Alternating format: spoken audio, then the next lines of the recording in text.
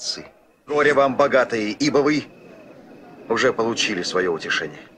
Горе вам, смеющиеся ныне, ибо вас плачете и возрыдаете.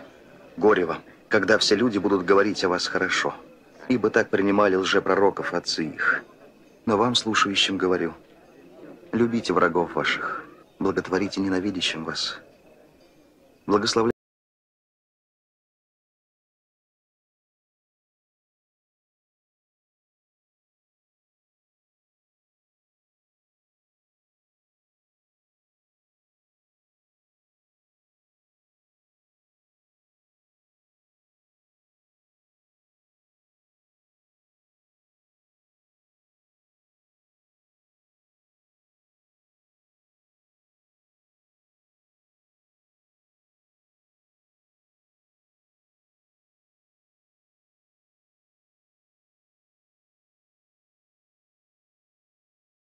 Блаженно чрево, носившее тебя, Господь наш.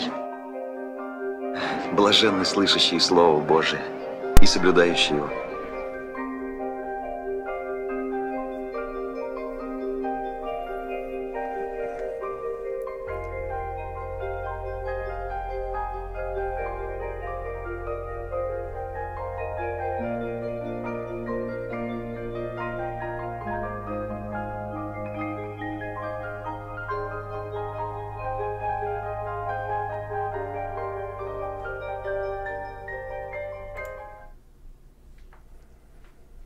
Привет, мои дорогие друзья, меня зовут Дима, вы на канале «Последнее время». Добро пожаловать всем, соскучился за вами, хоть прошло всего две недели, но я уже страшно скучаю, в предвкушении. Всегда волнуюсь перед эфиром, думаю, вы тоже. А, это большая ответственность вещать Слово Божье, ответственность перед Богом, ответственность перед вами – Поэтому пусть нас сегодня Господь благословит. Сегодня у нас очень интересная тема, очень интересное общение будет. Надеюсь, вам понравится. Надеюсь, сегодня мы все прибудем в силе Духа Святого. Подтвердите, друзья, как всегда, что вы меня видите и слышите хорошо. А у нас будет эфир 2 часа ориентировочно до 9 часов по киевскому времени. Не знаю, в каком регионе вы живете, но я вижу, что нас уже смотрит 100 человек. И с разных стран. Даже кто-то там написал с Южной Кореи. Добро пожаловать. Добро пожаловать, друзья. Ни для кого не секрет, что мы живем уже в последнее время. Последнее время не завтра наступит, последнее время уже сегодня, друзья. Уже сегодня. И это видно невооруженным глазом. Если раньше можно было только гадать как бы сквозь тусклое стекло, то сейчас это видно и открыто уже невооруженным глазом, согласитесь. А потому нам сегодня, как никогда, надо готовиться к вечности. Наше тело, оно умирает. Апостол Петр, если я не ошибаюсь, писал, что наша жизнь как пар. Пар, вы обратили внимание, сколько, как долго пар держится в воздухе? Недолгое время, правда? Потом он растворяется. Как долго трава на поле, которую вы видите на картинке – держится на земле. Также и наша жизнь, друзья. Она зеленеет, потом тускнеет и желтеет и погибает. Наша физическая жизнь, она временная здесь на земле, нам это важно понимать. Мы стареем, мы меняемся, мы умираем, мы болеем разными болезнями, э, причем смерть может прийти а, внезапно к нам. Поэтому, друзья, никто не застрахован. Поэтому сегодня мы должны знать, с Господом ли мы, готовы ли мы к, э, ко времени, к последнему времени, и чего ждать нам в будущем. Я вам скажу честно и откровенно, ничего хорошего нас, верующих в Иисуса Христа, если вы действительно верите в Иисуса Христа, в ближайшее время нас ничего хорошего, хорошее не ждет. А, мы знаем, что по Писанию грядет Третья мировая война исламская, которая начнется у берегов Ефрата, где погибнет, согласно книге Откровения 9 глава, если вы откроете прочитаете, где погибнет одна треть населения Земли, где только воинств будет в той области 200 миллионов солдат. 200 миллионов техники и так далее. Можете прочитать это, ничего тайного в этом нет, вы можете открыть, это пророчество еще не сбылось, то есть мы на пороге шестой трубы. Мы знаем, что погибнет одна треть населения Земли. Затем, после этого или в процессе, не знаю как, еще одно пророчество, которое не исполнилось, это появление мирового правительства с десятью правителями, мы недавно об этом говорили, и один будет правитель, который будет править с этими десятью правителями в мировом правительстве. Это будет человек греха, сын погибели, антихрист. Об этом тоже написано в книге Откровения, 13 главы, глава, и вы об этом тоже можете прочитать. Друзья, Иисус сказал, не знаете ни дня, ни часа. Не знаете ни дня, ни часа, когда придет Господь ваш. И это правда. Да и аминь. День нашей физической смерти неизвестен никому.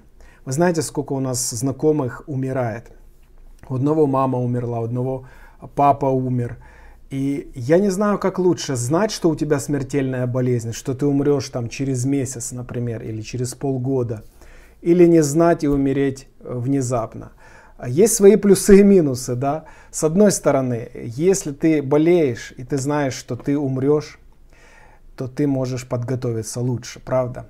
Если ты не знаешь, что ты умрешь, смерть может прийти внезапно. Помните притчу о богаче и Лазаре, который один пошел в рай, другой пошел в ад. И он внезапно ощутился, ощутился в другой реальности. Он внезапно ощутил, очутился в аду. И он ощутил весь жар и, и э, ну, беду, в которой он оказался. Поэтому, друзья, бодрствуем и молимся, потому что день нашей смерти неизвестен никому. И нам нужно бодрствовать и молиться, чтобы не впасть в искушение и в сеть дьявольскую, потому что дьявол расставляет сети в этом мире, и тяжело, очень тяжело, чем дальше мы живем, тем сложнее нам держаться Христа. Согласитесь, мы можем погибнуть в Третьей мировой войне, мы можем погибнуть от голода и холода во время правления Антихриста – мы можем погиб, погибнуть просто а, а, наивно попав а, под колеса автомобиля. У меня знакомый верующий, у него папа, ну нормальный папа, ходил в церковь, ну, пожилой, правда, вышел на дорогу, что-то его перемкнуло, он, наверное, не, не о том что-то подумал или задумался, я не знаю, и машина на, на ходу просто его сбила насмерть. Вот э, человека судьба. А, так что, друзья, а, все это очень важно, нам быть в состоянии готовности с утра до вечера, 24 часа в сутки, каждые 7 дней в неделю. Э, мы не знаем, друзья, в этом случае, как Иисус и сказал, мы не знаем ни дня, ни часа, потому что в эту ночь написано, да, в душу твою могут взять у тебя, и ты окажешься в вечности. Так вот вопрос, в каком состоянии мы предстанем пред Господом нашим? А, такой момент я вспомнил по ходу, коль уж такое вступление делаю. Э, Иисус как-то сказал иудеям, грех ваш остается на вас. Помните? Еще он сказал такой, э, такой момент. Вы умрете во грехах ваших, если, если не уверуете, что это я. Умрете во грехах ваших как ты а, собираешься встретить свою смерть. Ведь смерть, она реальна. Смерть, она реальна. С радостью, зная, что приходит твое избавление, с чистой душой, не во грехах своих умирать, а с чистой душой, зная, что Господь Иисус помиловал тебя, Он пришел в твою жизнь, Он изменил твою жизнь, Он простил тебя. Или Другой момент. Ты знаешь, что ты грешный человек, что ты идешь в ад, если ты сегодня умрешь. Просто задай себе вопрос, если я сегодня умру, где я окажусь? В раю или в аду? В каком состоянии мы предстанем пред Богом? Вот важный а, вопрос, который должен за, за, задавать себе каждый человек, живущий на этой земле. Если ты не уверен, у меня к тебе есть повеление. Не предложение, а повеление от самого Господа Иисуса Христа. Стань дома сегодня на колени, покайся во всех своих грехах, Прими Господа и Спасителя твоего Иисуса Христа в свою жизнь, в свое сердце. Поверь в Него, что Он мучился, умирая на кресте ради тебя, за твои грехи. И потом Он воскрес из мертвых для твоего оправдания. Аминь. Аминь. Вот то, о чем нам нужно размышлять с утра до вечера. На каком основании Господь пустит меня на небо? На каком основании? Если я не принимаю жертву Иисуса Христа, то я плюю на Него. Я говорю, зачем мне Иисус Христос? Я сам по себе. И гнев Божий приходит на голову мою. Это очень серьезные вещи. Друзья, немножко такое вот вступление духовное. От духовному переходим к материальному вступлению. Я не могу пропустить этот момент и не поблагодарить тех людей, это очень важно, кто а, щедро и искренне жертвует а, мне финансы. Спасибо вам огромное за ваши дары. Спасибо вам, друзья. Спасибо вам за ваши пожертвования. Я время от времени получаю на WebMoney и на Приватбанк а, ваши щедрые и искренние пожертвования. Пусть вас Господь благословит. Я хочу искренне вас поблагодарить. Ситуация такая бывает. Только денежка заканчивается. У меня жена паникер. А она уже начинает паниковать. Тут уже все. Конец света. А, и тут раз, Господь заботится о нас, поступает денежка. Там, может, небольшие суммы, но можно сходить в магазин уже купить там хлеба, молока, кефира, а, как-то продержаться еще. А, так что спасибо вам огромное, что вы действительно несете реальное служение тем, кто а, помогает мне и моей семье и на, на развитие нашего канала последнее время. Потому что я сейчас последнее время, вы заметили, я больше и больше времени уделяю последнему времени. А, работы основной у меня становится все меньше и меньше, а возможности служить вам а, на просторах интернета становится все больше и больше. И слава Богу за это, за этих 10-15 человек, которые посвятили себя, которые жертвуют. Спасибо вам. Из 33 тысяч подписчиков моих. Такова реальность наших дней. Помните историю? Я вспоминаю историю, может, кстати, о 10 прокаженных. Помните, Иисус их исцеляет, и только один вернулся поблагодарить Господа много званых, а мало избранных. Поэтому, друг, если Бог расположил твое сердце жертвовать копеечку, делай это, не стесняйся. Бог видит твое сердце, Бог видит мое сердце. Это самое малое, что ты можешь сделать для Господа. Поблагодарить таким образом автора канала. Если есть возможность, конечно, я, я никого не заставляю это делать. Если Бог располагает твое сердце, конечно, Бог тебя обильно благословит. Быть богатым, как написано, на всякое доброе дело еще больше давать. Иисус сказал, блажение давать, нежели принимать. Согласитесь. И это я могу подтвердить на собственном опыте. Друзья, спасибо вам огромное, что вы пришли. 150 человек, 150 человек пришли на наш эфир. Попытаюсь немножечко зачитать ваши комментарии, потом мы помолимся, есть еще нужда, и мы начнем наше с вами общение. Сегодня у нас тема а, Нагорная проповедь Иисуса Христа. Первая проповедь Иисуса Христа людям. Сегодня мы очень много будем об этом а, говорить. Вы очень много пишете, как всегда. Спасибо вам огромное. Спасибо вам огромное. Давайте я зачитаю некоторые ваши комментарии. Львов Коламалило. А, Львов, привет всем зі Львова. Привет, добро пожаловать.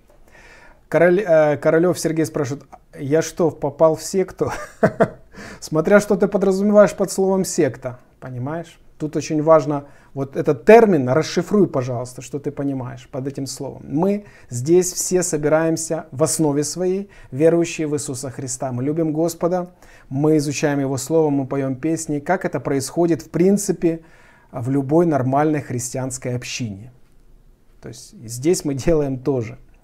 И здесь мы для того, чтобы распространять Евангелие, распространять Царство Божие, рассказывать об Иисусе Христе, рассказывать о приближающихся событиях последних дней, основанных на Писании, на Библии. Я не говорю свое, я не говорю кого-то, я стараюсь четко придерживаться Библии. Согласно Писанию все. Так что, Сергей, ты не попал в секту, ты попал в гости к Иисусу Христу. Иисус Христос среди нас. Написано, где двое или трое собраны во имя Мое, там и я, Иисус сказал, посреди них. Поэтому, если ты подключился к нам, добро пожаловать, пусть тебя Бог благословит. Сергей. Грузия, Наталья. Наталья, а, привет. Рома Страхов, всем привет. Привет, Рома, добро пожаловать, заходи. Одесса, Елена из Одессы, привет. Заходи, Елена. Александр Вебер пишет, скоро конец. Верно, скоро конец. Рано или поздно мир начал однажды существовать, и мир однажды закончит свое существование в таком виде, в котором мы его сегодня знаем. Рано или поздно это случится. Мир не бесконечный. Мы знаем по Писанию, что будет второе пришествие Иисуса Христа. Первый раз Иисус Христос пришел 2000 лет назад, второй раз придет Он в конце э, великой скорби. Ученик Христа, привет, братик. Привет, ученик Христа, заходи к нам. Мы все ученики Христа. Так что у тебя хороший ник. Э, Гриша пишет, «Э, любой конец это лишь только начало. Привет из Мариуполя. Мариуполь, добро пожаловать. У нас, кстати, церковь, в которую я хожу, баптистскую, там много а, людей тоже из Мариуполя есть.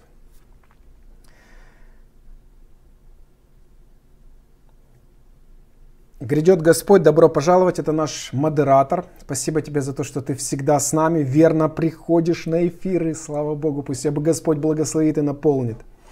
Блаженны кроткие, ибо они наследуют землю, блаженны плачущие, ибо они утешатся, блаженны алчущие, жаждущие правды, блаженны чистые сердцем, ибо они Бога узрят. Аминь, аминь. Сегодня будем об этом размышлять. Привет из Винницы. Вот такой город. Мне понравился. Тихий, спокойный. Я там был когда-то. В командировке. В христианской командировке меня от церкви отправили когда-то. Было такое. Я на два или на три дня туда ездил. А, даже на два дня с ночевкой.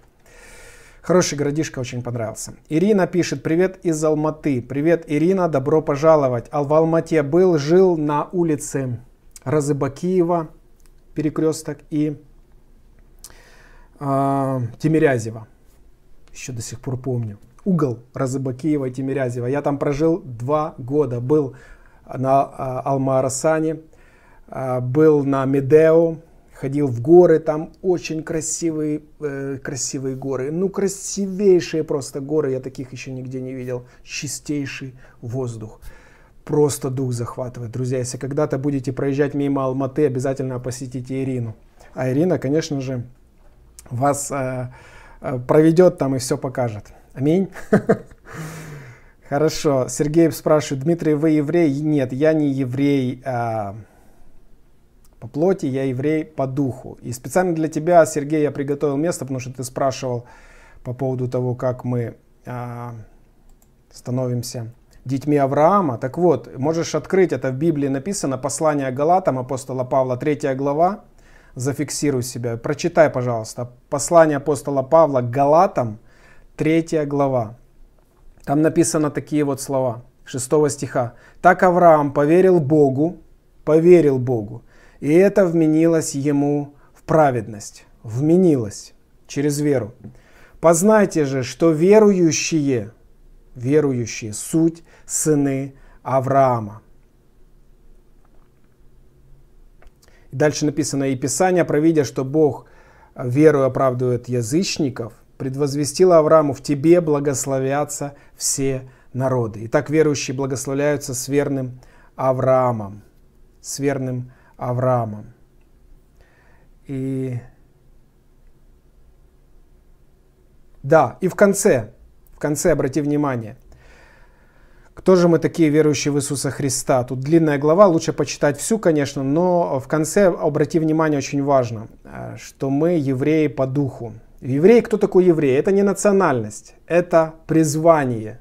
Это Божий народ. Евреи это Божий народ, Богом избранный народ. Так вот, а, сейчас в Новом Завете, после того, как Иисус Христос пришел в этот мир, Богом избранный народ это христиане, те, кто поверили в Сына Его Иисуса Христа. Написано так, смотри, с 26 стиха. «Ибо все вы сыны Божьи, по вере во Христа Иисуса». Все вы во Христа, крестившиеся во Христа, облеклись, оделись. Нет уже иудея, еврея, ни язычника, любая другая народность. Нет раба, нет свободного, нет мужеского пола, ни женского, это уже не важно. Почему? Да потому что все вы одно во Христе. А теперь подчеркни 29 стих. Если же вы Христовы, то есть если вы поверили в Иисуса Христа и принадлежите Иисусу Христу, то вы семя Авраамова. Семя Авраамова и по обетованию наследники. Вот так говорит о нас Слово Божье. Это очень важно понимать.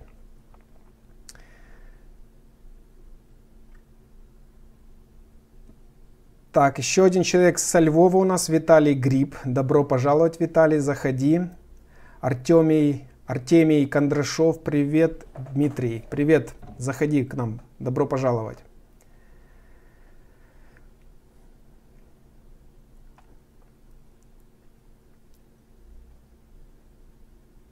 Ну что, друзья, будем начинать. Про плоскую землю я не буду ничего говорить, потому что я а, призван говорить о последнем времени. Я призван говорить об Иисусе Христе. Я не буду говорить о том, что не влияет на наше спасение и никаким. Пусть земля хоть квадратная, хоть прямоугольная, хоть параллелепипедом будет. Мне абсолютно все равно. Потому что мне важно, что Господь Иисус Христос живет в моем сердце. Вот о чем я должен переживать и заботиться. Все остальное, друзья, это вообще не важно. Это просто отвлекает вас от главного. Не увлекайтесь этим.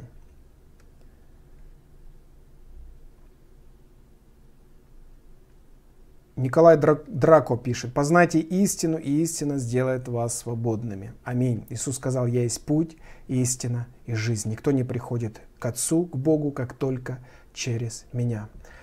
Познаем истину, истина нас полностью освобождает. Многие из нас бывшие алкоголики, наркоманы, э, там, проститутки, люди, как правило, христиане, это, это, как правило, люди, как правило, я не говорю за всех, э, которых было очень неприятное прошлое. Очень неприятное прошлое, и Бог просто помиловал этих людей и сделал чудо и изменил их жизни. Так что слава Богу, друзья.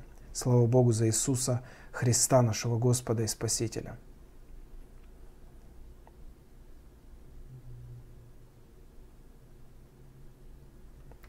Салтаха, очень нуждаюсь в молитве о спасении мужа и моей семьи. Привет из Южной Кореи. Мы помолимся. Мы помолимся. Сейчас помолимся.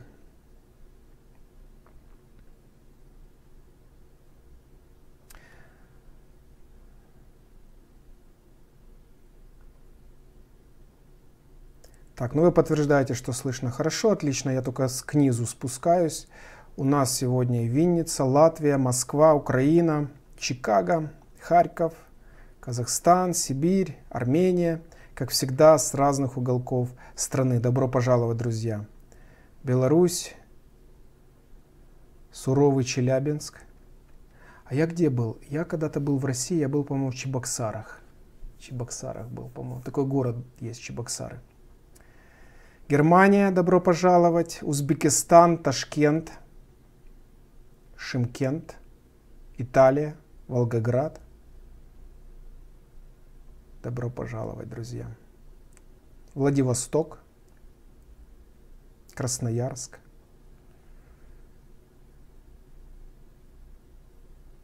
Спасибо вам за ваше общение, за то, что пришли на эту встречу. Я это действительно ценю, потому что если бы Господь среди нас э, не присутствовал, если бы вы не пришли, то не было бы смысла нам собираться вообще. Я скажу больше, если бы не Господь ну, а, не присутствовал среди нас, то просто была бы пустая болтовня, пустое общение. Поэтому, друзья, это самое главное, чтобы Господь был среди нас. Если сейчас мы помолимся и пригласим Его, чтобы Он занял.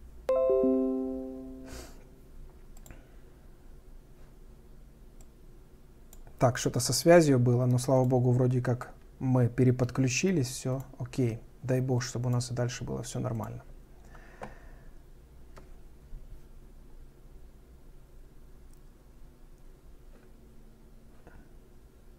Связь что-то хромает у нас.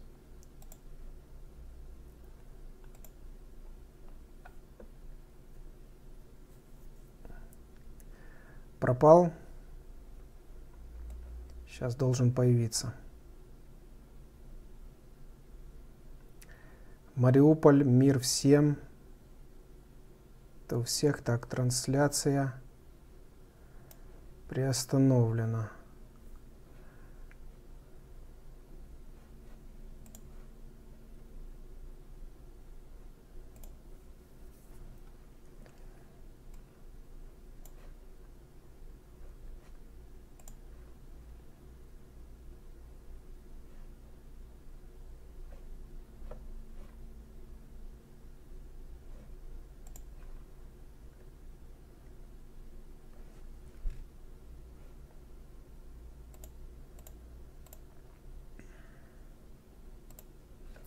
Первый раз такое произошло. Враги грызут кабель, наверное. Нормально уже? Есть связь? Все нормально уже. А, отлично, отлично. Окей. Окей, друзья.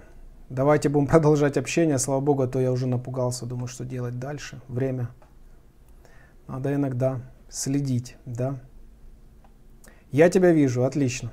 Отлично. Ну, у нас задержка там где-то может до минуты быть. Поэтому, слава богу, что уже все работает. Дай бог, чтобы у нас все было нормально с оборудованием. Мы, друзья, не помолились, а это самое главное, нам нужно помолиться. А давайте, наверное, мы помолимся, прежде чем начнем общение наше. Если вы не возражаете. Ну, всякое бывает, это техника, друзья. Это первый раз за все время, сколько у нас уже, 20 эфиров, наверное, было прямых. А, ну и такое бывает, так что вы не переживайте. Ничего страшного не произойдет, если связь оборвется, это не смертельно. Есть гораздо страшнее вещи в мире. Еще есть одна нужда, когда мы сейчас будем молиться в молитве. Вот давайте помолимся за вот эту э, женщину с, э, с Кореи, которая молит, просит молиться за ее мужа и семью. Еще есть такая нужда. Дмитрий, приветствую. У меня молитвенная нужда. Помолитесь за моего мужа Руслан. За его спасение. Он мусульманин, называется, но живет, как все, в алкогольной зависимости. Слышать о Христе не желает. Я верю, что Господь хочет сына своего открыть ему. Давайте помолимся вместе.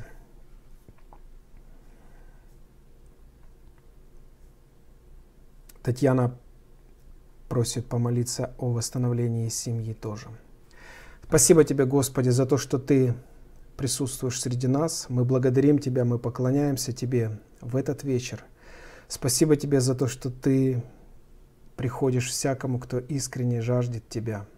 Славим Тебя, поклоняемся великому Твоему святому имени, просим Твоего особого благословения на нашу встречу, Господь. Если Ты не придешь, если Ты не наполнишь наши уста, наши сердца, то не будет смысла в нашей встрече. Я прошу Тебя, благослови, пожалуйста, духовную часть сегодня, благослови оборудование, чтобы все работало правильно. Я прошу Тебя о том, чтобы Ты благословил и коснулся сердец моих друзей, кто пришел на эту встречу. Благослови их, укрепи их веру через нашу встречу. Господи, я прошу Тебя за то, что Ты видишь, э, что происходит в мире, Боже, что в, сем, в семьях э, разлады, Господи. Я прошу Тебя о том, чтобы Ты благословил Татьяну и ее семью, чтобы Ты благословил эту женщину скорее, и ее мужа, и ее семью, Господь, чтобы Ты касался их, чтобы приводил их к спасению. Потому что написано, что жена может спасти а, мужа, и муж может спасти жену а, через Твое присутствие. Поэтому мы просим Тебя, Господи, о том, чтобы Ты пришел в их семьи, коснулся Господь неверующих мужей и произвел в них перемены. Господи, я прошу Тебя за Руслана, за мужа этой женщины, которая просит, который в алкогольной зависимости. Я прошу Тебя, коснись его сердца, что если Ты не коснешься, никакие человеческие убеждения не помогут. Я прошу Тебя, прикоснись к нему своей любовью, своей исцеляющей рукой и освободи его, Господи, и покажи ему путь любви, путь мира, путь покоя в Тебе.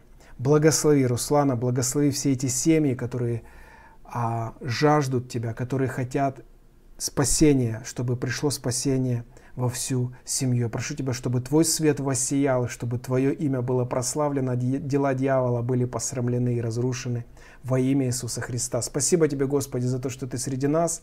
Спасибо Тебе за то, что наполняешь нас своим присутствием, даешь нам силы духовные, силы физические. Господи, мы осознаем и понимаем, что наша жизнь на земле кратковременна. Мы очень быстро летим и очень быстро уходим с этой земли. Я прошу Тебя о том, чтобы Ты подготавливал нас к вечности через эти встречи. Я прошу Тебя о том, чтобы Ты подготавливал нас к последним временам, которые грядут впереди, дал нам силу все преодолеть и устоять. Претерпевший же до конца спасется. Благослови всех нас в этом общении, говори к нам сегодня, укрепляй нашу веру и веди нас, Господь наш и Бог наш, Отец, Сын и Дух Святой. Аминь. И весь народ Божий сказал Аминь, Аминь, Аминь. Ну что, друзья, исторический фон. Давайте мы будем э, потихонечку двигаться. Время идет. А, Дима, привет. Вальдемар пишет. Привет, Вальдемар. Добро пожаловать. Вижу и слышу, Сергей Шум. Всем добра из Петербурга. Привет из Одессы. Башкатарстан. Добро пожаловать, друзья. Фиксики шалят. Грядет Господь пишет. Да, какие-то фиксики. Ну, я вам скажу, это первый раз за все время. У меня такого никогда в жизни не было. Ну, всякое бывает, друзья. Ну, тут такое дело. Хорошо, пусть Господь нас благословит и ведет дальше. А, значит, исторический фон, друзья, прежде чем мы начнем размышлять о проповеди Иисуса Христа, его первой проповеди, которую он сказал, мы сегодня будем много говорить, немножко поговорим и о политике, как всегда, немножко попоем, немножко почитаем Писание. В общем, в таком режиме будем продолжать наше общение. А давайте же посмотрим, что же происходило, какая была атмосфера, атмосфера, какое, что происходило, когда Иисус, а, перед тем, как Иисус начал проповедовать. Иисус проходит с победой три искушения от дьявола в пустыне. Помните, да, этот момент? И начинает свое служение уже в силе Духа. То есть перед тем, как он публично начал проповедовать, в его жизни были сильные и мощные искушения, проверка, так сказать, а, попущена была Богом, чтобы дьявол его искушал. И после того, как он наполнился духом, да, куда, там написано, что он пошел в силе духа проповедовать. Куда же Иисус отправляется? Где он начинает свое публичное служение, где он начинает свою первую проповедь. Давайте прочитаем, это очень интересно. Маленькое вступление перед тем, как мы начинаем. Услышав же Иисус, друзья, это мы читаем, давайте я вам сразу скажу, Евангелие от Матфея, 4 глава с 12 стиха. Евангелие от Матфея, 4 глава с 12 стиха, можете открыть и следить. Если у вас печатные Библии, электронные Библии, кому как удобно. Читаем. Услышав же Иисус, что Иоанн, Иоанн, креститель, да, помните, да, родственник Иисуса Христа по плоти, отдан под стражу. Иоанн крестил Иисуса. Помните, да, я просто вам описываю, чтобы вы, ну, потому что Иоаннов было много тогда, и имена с таки, людей с таким именем тоже было много. Так вот, Иоанн, это Иоанн Креститель, имеется в виду. Значит, он отдан под стражу. Иисус, как только об этом узнал, написано, удалился в Галилею. В Галилею. Вот тут сейчас города, все вот эти вот моменты очень важны. И оставив Назарет, пришел и поселился в Капернауме Приморском, в пределах Завулоновых и Нефалимовых, да сбудется реченное через пророка Исаю, который говорит, земля Завулонова и земля Нефалимова на пути Приморском за Иорданом, и дальше, подчеркните, Галилея языческая. Галилея языческая. То есть это та часть Израиля, в которой жило много язычников. Помните одержимого, которого Господь освободил от легиона демонов? Помните эту историю? Если не помните, прочитайте, очень интересная история. Легион, знаете, что такое легион? Легион – это очень много. Это от двух до десяти тысяч римских солдат того времени. От двух до десяти тысяч. То есть множество бесов вселилось в того человека. Так вот, там в том регионе паслись свиньи, в которых вошли бесы потом. Помните, вышли из бесноватого и вошли в свиней. Пастухи пасли свиней в Израиле? Как интересно. Вам не кажется это странным? Евреи не могли пасти свиней, потому что для евреев это было нечистое животное. А кто их тогда пас? Язычники. Галилея языческая. А язычники едят все. И даже свиней. Очень вкусное мясо, правда? Сальце такое, да? Мяско такое. Читаем. Продолжаем читать. Здесь же Евангелие от Матфея, 4 глава, 16 стих. «Народ, сидящий во тьме, увидел свет великий, и сидящим в стране и тени смертной свет воссиял». С того времени Иисус начал проповедовать и говорить, «Покайтесь, ибо приблизилось Царство Небесное». Теперь с 23 стиха по 25 в этой же главе смотрим. «И ходил Иисус по всей Галилее». Галилея языческая, там в основном язычники жили. То есть другие народности, не евреи по плоти. Значит, он ходил по Галилее почему-то, Иисус. А посмотрите на 12 стих. Услышав же Иисус, что Иоанн отдан под стражу, удалился. Удалился и пошел куда? В Галилею. Он не кинулся Иоанну помогать. Ой, спасите Иоанна, вызволите его из тюрьмы. Давайте соберем общество по защите Иоанна.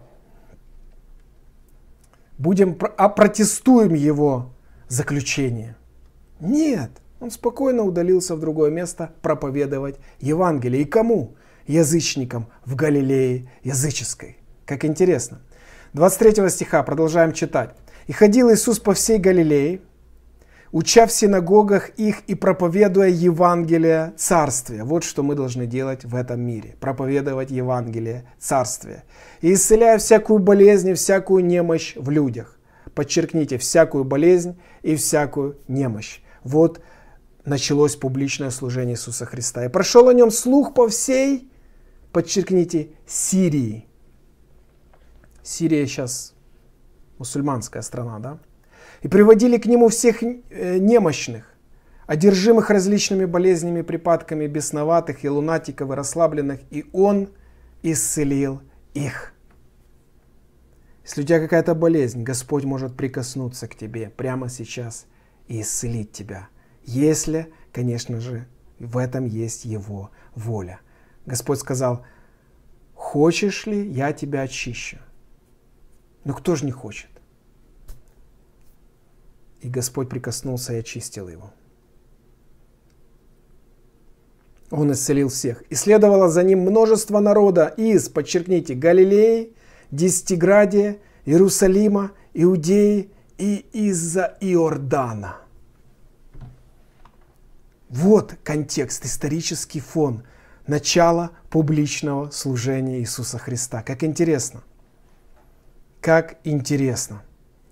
Олег Земцов, вечер добрый. Добро пожаловать, Олег. Заходи к нам. У нас тут будет сегодня интересное общение.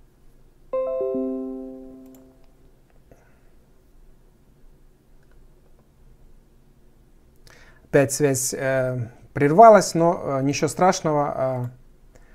Э, э, будем продолжать. Э, вроде как все восстановилось. Друзья, а в тех районах он проповедовал, там, где Галилея языческая. Иисус начал свое публичное служение, он говорит свою первую публичную проповедь. И вот, как, он сказал, увидев народ, он зашел на гору, и когда сел, приступили к нему ученики его. Вот исторический фон, а, когда Иисус начал свое публичное служение. Читаем, открываем Евангелие от Матфея, 5 глава, с 1 по 48 стих. Если Бог даст, мы, про, мы успеем про, пройти три главы. Ну, это не сама цель. Главное нам вот, прочитать и поразмышлять над учением Иисуса Христа. Это очень важно, потому что в этом заключается основа христианской веры. Это учение Иисуса Христа, это то, чему, э, чему придерживаются христиане. Они верят в Иисуса Христа, они следуют за Иисусом Христом, исполняя его учение. Не закон, как многие учат, а учение Иисуса Христа, его заповеди. Заповеди блаженства, помните? Иисус сказал, даю вам новую заповедь, любите друг друга. Потому узнают все, что вы мои ученики, если имеете любовь между собой. Это лакмусовая бумажка, что э, Иисус Христос, э, христиан, вообще христиан, что Иисус Христос среди нас. Любовь Божья. Итак, читаем, друзья. Увидев народ, он взошел на гору, и когда сел, приступили к нему ученики его. Ученики его. Их было много. И мы видим, сколько людей следовало за ним. Да? Галилея, Десятиградия, Иерусалим, Иудея и из-за Иордана даже. Галилея языческая. Он зашел, и он, отверши уста, учил их, говоря. И вот тут начинаются уже учение Иисуса Христа, то, чему придерживаются христиане. Блаженны нищие духом, ибо их есть Царство Божье. Э, что интересно, что в одном из переводов, а, не помню, то ли в этом, то ли в другом э, Евангелии, в греческом, там нету э, написанного духом. То есть буквально там написано нищие. Блаженны нищие, нищие ибо их есть Царство Небесное. В другом месте написано, да, нищие духом. Но в принципе от этого суть сильно не меняется. Есть нищета физическая, есть нищета духовная. Как и в том и в другом случае человек очень близок к Иисусу Христу, к спасению. Потому что такому человеку нечего терять в этом мире. Богатому человеку есть что терять в этом мире. Машины, квартиры и так далее. Виллы. А бедному человеку что терять в этом? Да нечего ему терять. Поэтому блаженны, потому что им принадлежит Царство Небесное. Небесное. Блаженны плачущие. Не блаженны, а смеющиеся, да? Там дальше Иисус будет говорить, горе смеющиеся ныне, ибо восплачете и возрыдаете. Нет, блаженны плачущие. Плакать это хорошо. Плакать это хорошо. Плачут не только женщины, плачут и мужчины, и дети. Я когда покаялся, когда пережил э, Божье присутствие первый раз, когда встретился с Иисусом Христом, вот так, один на один, то я рыдал. У меня слезы текли градом, у меня глаза посинели. Я такого никогда в жизни не испытывал. Я был настолько уже черствым, настолько злым и жестоким – и Господь, когда пришел ко мне, мне просто слезы начали литься градом. Я понимал, какой я грешный человек, и как Бог святой, Иисус Христос, пришел ко мне для того, чтобы простить меня, помиловать меня и спасти. Блаженны плачущие, ибо они что? Утешатся. Если вы согрешили пред Богом, почаще плачьте пред Ним. Не просто «А, Господь, прости». Это не покаяние. Покаяние это когда ты действительно искренна просишь прощения и больше стараешься этого не повторять. Вот что такое настоящее покаяние перед Богом. Это очень важно понимать. Очень важно понимать. Дальше, пятый стих. «Блаженны кроткие, ибо они наследуют землю». Земля наша, царство наше не на земле, а на небесах. У нас есть наследие вечное, нетленное – кроткий. Иисус сказал, «Э, научитесь, придите, научитесь от меня, ибо я кроток и смирен сердцем, и найдете покой душам вашим. Иисус Христос кроткий, сидя на осле, на ослице и на молодом осле. Помните, да, эту историю? Иисус кроткий. Иисус говорит, придите, научитесь от меня. Христиане, они подражатели Иисусу Христу, они должны быть кроткими. Что такое кротость? Посмотрите в Википедии. Блаженны кроткие, ибо они наследуют землю. Шестой стих. Блаженны алчущие и жаждущие правды, ибо они насытятся. И вы знаете, когда я только поверил в Иисуса Христа, я открывал Библию, я ее глотал просто. Знаете, когда человек, который вышел из задымленной комнаты и плохо дышал, и когда он выходит на свежий воздух, он начинает глотать воздух. Он начинает вот так радоваться, просто глотать этот воздух. Так же самое для меня Писание. Я читал, я не мог остановиться. Я днями и ночами пребывал вот так. Мне так было интересно. Я читал, и у меня просто Писание глотал, глотал, глотал. Я не мог насытиться. У меня была жажда правды. Мне так было интересно. Сейчас, конечно, когда я уже Бог мне много открыл, и я через уже многое прошел, да, я уже не так глотаю, да, я уже степенно сажусь, да, читаю главу там или две. А раньше у меня не было остановки, я много-много-много писания глотал. И это для меня было ну, просто благословение такое, такая радость. Я узнаю истину, я узнаю Иисуса Христа. И это просто чудесно. И написано, что они насытятся. Они насытятся. Блаженно милостивые, ибо они помилованы будут. Те люди, которые любят и умеют миловать. Не наказывать, не судить, да, а миловать, прощать, ибо они помилованы будут.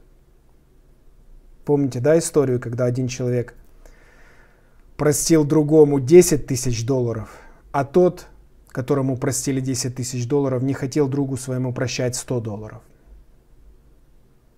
И что случилось? Тот, которому должен был 10 э, тысяч долларов, он узнал об этом и наказал того. Также и Бог поступит с нами, если мы искренне от всего сердца не прощаем людям их прегрешения. Как Бог простил нас, как Бог простил нас во Христе, так и мы призваны прощать других людей. И где-то еще даже до того, как нам нанесли какую-то обиду. Поэтому, друзья, мы призваны к прощению, мы призваны миловать людей, прощать. Блаженно чистые сердцем, ибо они Бога узрят. Когда приходит чистота сердца? Когда мы начинаем веровать в Иисуса Христа. Когда Бог вынимает наше грязное все и одевает нас чисто белое, постиранное, в свою праведность и свою чистоту, праведность Иисуса Христа. Вот тогда мы становимся чистыми перед Ним. И вот такие люди Бога узрят. Слова Иисуса Христа – Блаженны миротворцы, ибо они наречены сынами Божьими, те, которые мирят, призваны к миру и призваны мирить людей. Миротворцы. Блаженны изгнанные за правду, ибо их есть Царство Небесное. Им принадлежит те, кого изгоняют за правду. За правду. Иисус как-то да, так и сказал, говорит, кто а, а, за Иисуса, то есть за меня, за Иисуса Христа будут изгонять, будут гнать, будут убивать. И вот он говорит, блаженные изгнанные за правду. Правда это равно Иисус Христос. Иисус Христос о себе так сказал, я есть правда. Однажды был случай, когда а, мы работали, помню, в охране в банке, и а, у меня был друг, который мне много свидетельствовал об Иисусе Христе, и его выгнали с работы только за то, что он не хотел обманывать. Была такая ситуация – а, какая была ситуация? Вот он сидит, а, охранник сидит на входе, подходит к нему а, начальник, там председатель правления банка, говорит ему, сейчас придет человек, а ты ему скажи, меня нет. Ну просто скажи, меня нет, и все, он развернется и уйдет. А тот говорит, подождите, я христианин, я не могу обманывать. Как, тебе что, сложно сказать? А он один был на посту, другого не было никого, такая вот ситуация. И он говорит, нет, я не скажу, я обманывать не буду, я христианин. Вот такая вот ситуация, друзья. И что вы думаете? Его после этого случая выгнали с работы. И он потом, помню, ходил, улыбался, смеялся, радовался, говорит, блаженные изгнанные за правду. Да, друзья, э, христианский путь это узкий путь. Поэтому ни в коем случае не поддавайтесь на эти уловки дьявола, где дьявол вам просит что-то обмануть, что-то украсть и так далее. Это все ловушки, подстроенные дьяволом. Никогда не соглашайтесь. Душа ваша важнее угождения человеку. Душа ваша важнее. Ты сегодня согрешишь, завтра пойдешь в ад. Будешь пред Богом отвечать. Поэтому ни в коем случае не позволяйте, чтобы грешники господствовали над вами. Мы призваны – господствовать над грешниками, рассказывать им об Иисусе Христе, показывать им Иисуса Христа. Понимаете? Они должны прийти и покаяться и уверовать, а не мы должны побежать к ним и сказать, что нам делать. Понимаете? Мы имеем истину Иисуса Христа в сердце. Они не знают ее. Они несчастные люди, поэтому они нуждаются в спасении, не мы. Мы спасены милостью Божьей. Поэтому блаженные изгнанные за правду, блаженные. Знаете, что такое блаженство вообще? Блаженство это высшая степень счастья. Ты хочешь быть счастливым человеком? Плачь, будь кротким, будь жаждущий правды, будь милостивый, будь чистым сердцем, будь миротворцем, стой за правду, будь нищим духом, и будешь иметь верх блаженства. Только это все надо делать во Христе, исполнять заповеди Христа. Вначале надо покаяться, уверовать в Иисуса Христа, прежде чем это исполнять. И дальше интересные стихи, 11 стих. «Блаженны вы, когда будут поносить вас и гнать, и всячески неправедно злословить за меня». Поносить. А, он такой всякой, он там ненормальный. Кто-то мне тут написал сегодня, меня считают, что я ненормальный, крутят у виска. Это нормальная реакция неверующих людей, грешников. Это нормальная реакция. Кто-то сказал, что я в секту попал. То есть для него это, он не понимает, что мир, в котором он живет, это и есть секта, а во Христе есть спасение. Мир, в котором живут грешники, это секта сатаны. Да, если так уже размышлять, о сектах речь заговорилась. А спасение только во Христе, но узок путь, ведущий в жизнь, и немногие находят его. Поэтому, друзья, когда вас будут поносить, когда вас будут гнать, когда вас будут несправедливо обвинять, злословить, а он такой всякой, не удивляйтесь этому. Для вас это что-то такое новое и странное. Ничего странного нет. Иисус предостерегал, что так будет. Чего вы удивляетесь? 12 стих. Радуйтесь и веселитесь, ибо велика вам награда на небесах. Так гнали и пророков, бывших прежде вас. Иисус сравнивает, говорит, пророки. Почитайте, кстати, пророков Ветхого Завета. Их гнали, их убивали, реально. Потому что они всегда говорили правду в лицо, несмотря на ни на какие лица и так далее. И он сравнивает пророков с э, христианами, с верующими, с учениками Иисуса Христа. Он говорит, если вы будете все это исполнять, то если вы будете веровать в меня, вас будут гнать и неправедно злословить за меня. Но вам будет велика награда на небесах. Не здесь на земле вы получаете награду, медали, а там получите, когда пройдете путь свой. Велика вам награда. Ты не просто попадешь на небо, но за то, что тебя гнали несправедливо, злословили, поносили, ты получишь там награду от самого Господа Иисуса. Он сравнивает тебя с пророками. У тебя выше а, звание, у тебя звание христианин. Ты носишь имя Иисуса Христа на себе. Это великое звание. И еще честь пострадать за имя Иисуса Христа. Это еще честь, это еще не каждому дано. И не каждый а, через это пройдет.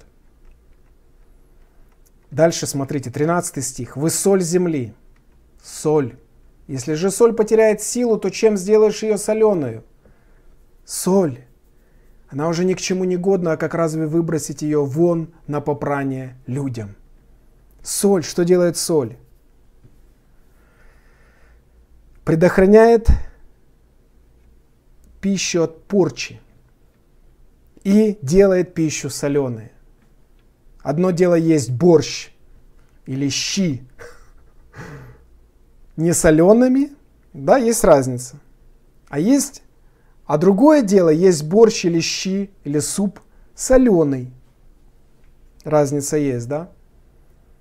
Так вот предназначение соли. Осаливать продукты, чтобы это при, приятно было, пища. Чтобы когда вы проповедуете Евангелие, когда вы людям э, своей жизнью показываете Христа, чтобы, люди, чтобы людям приятно было.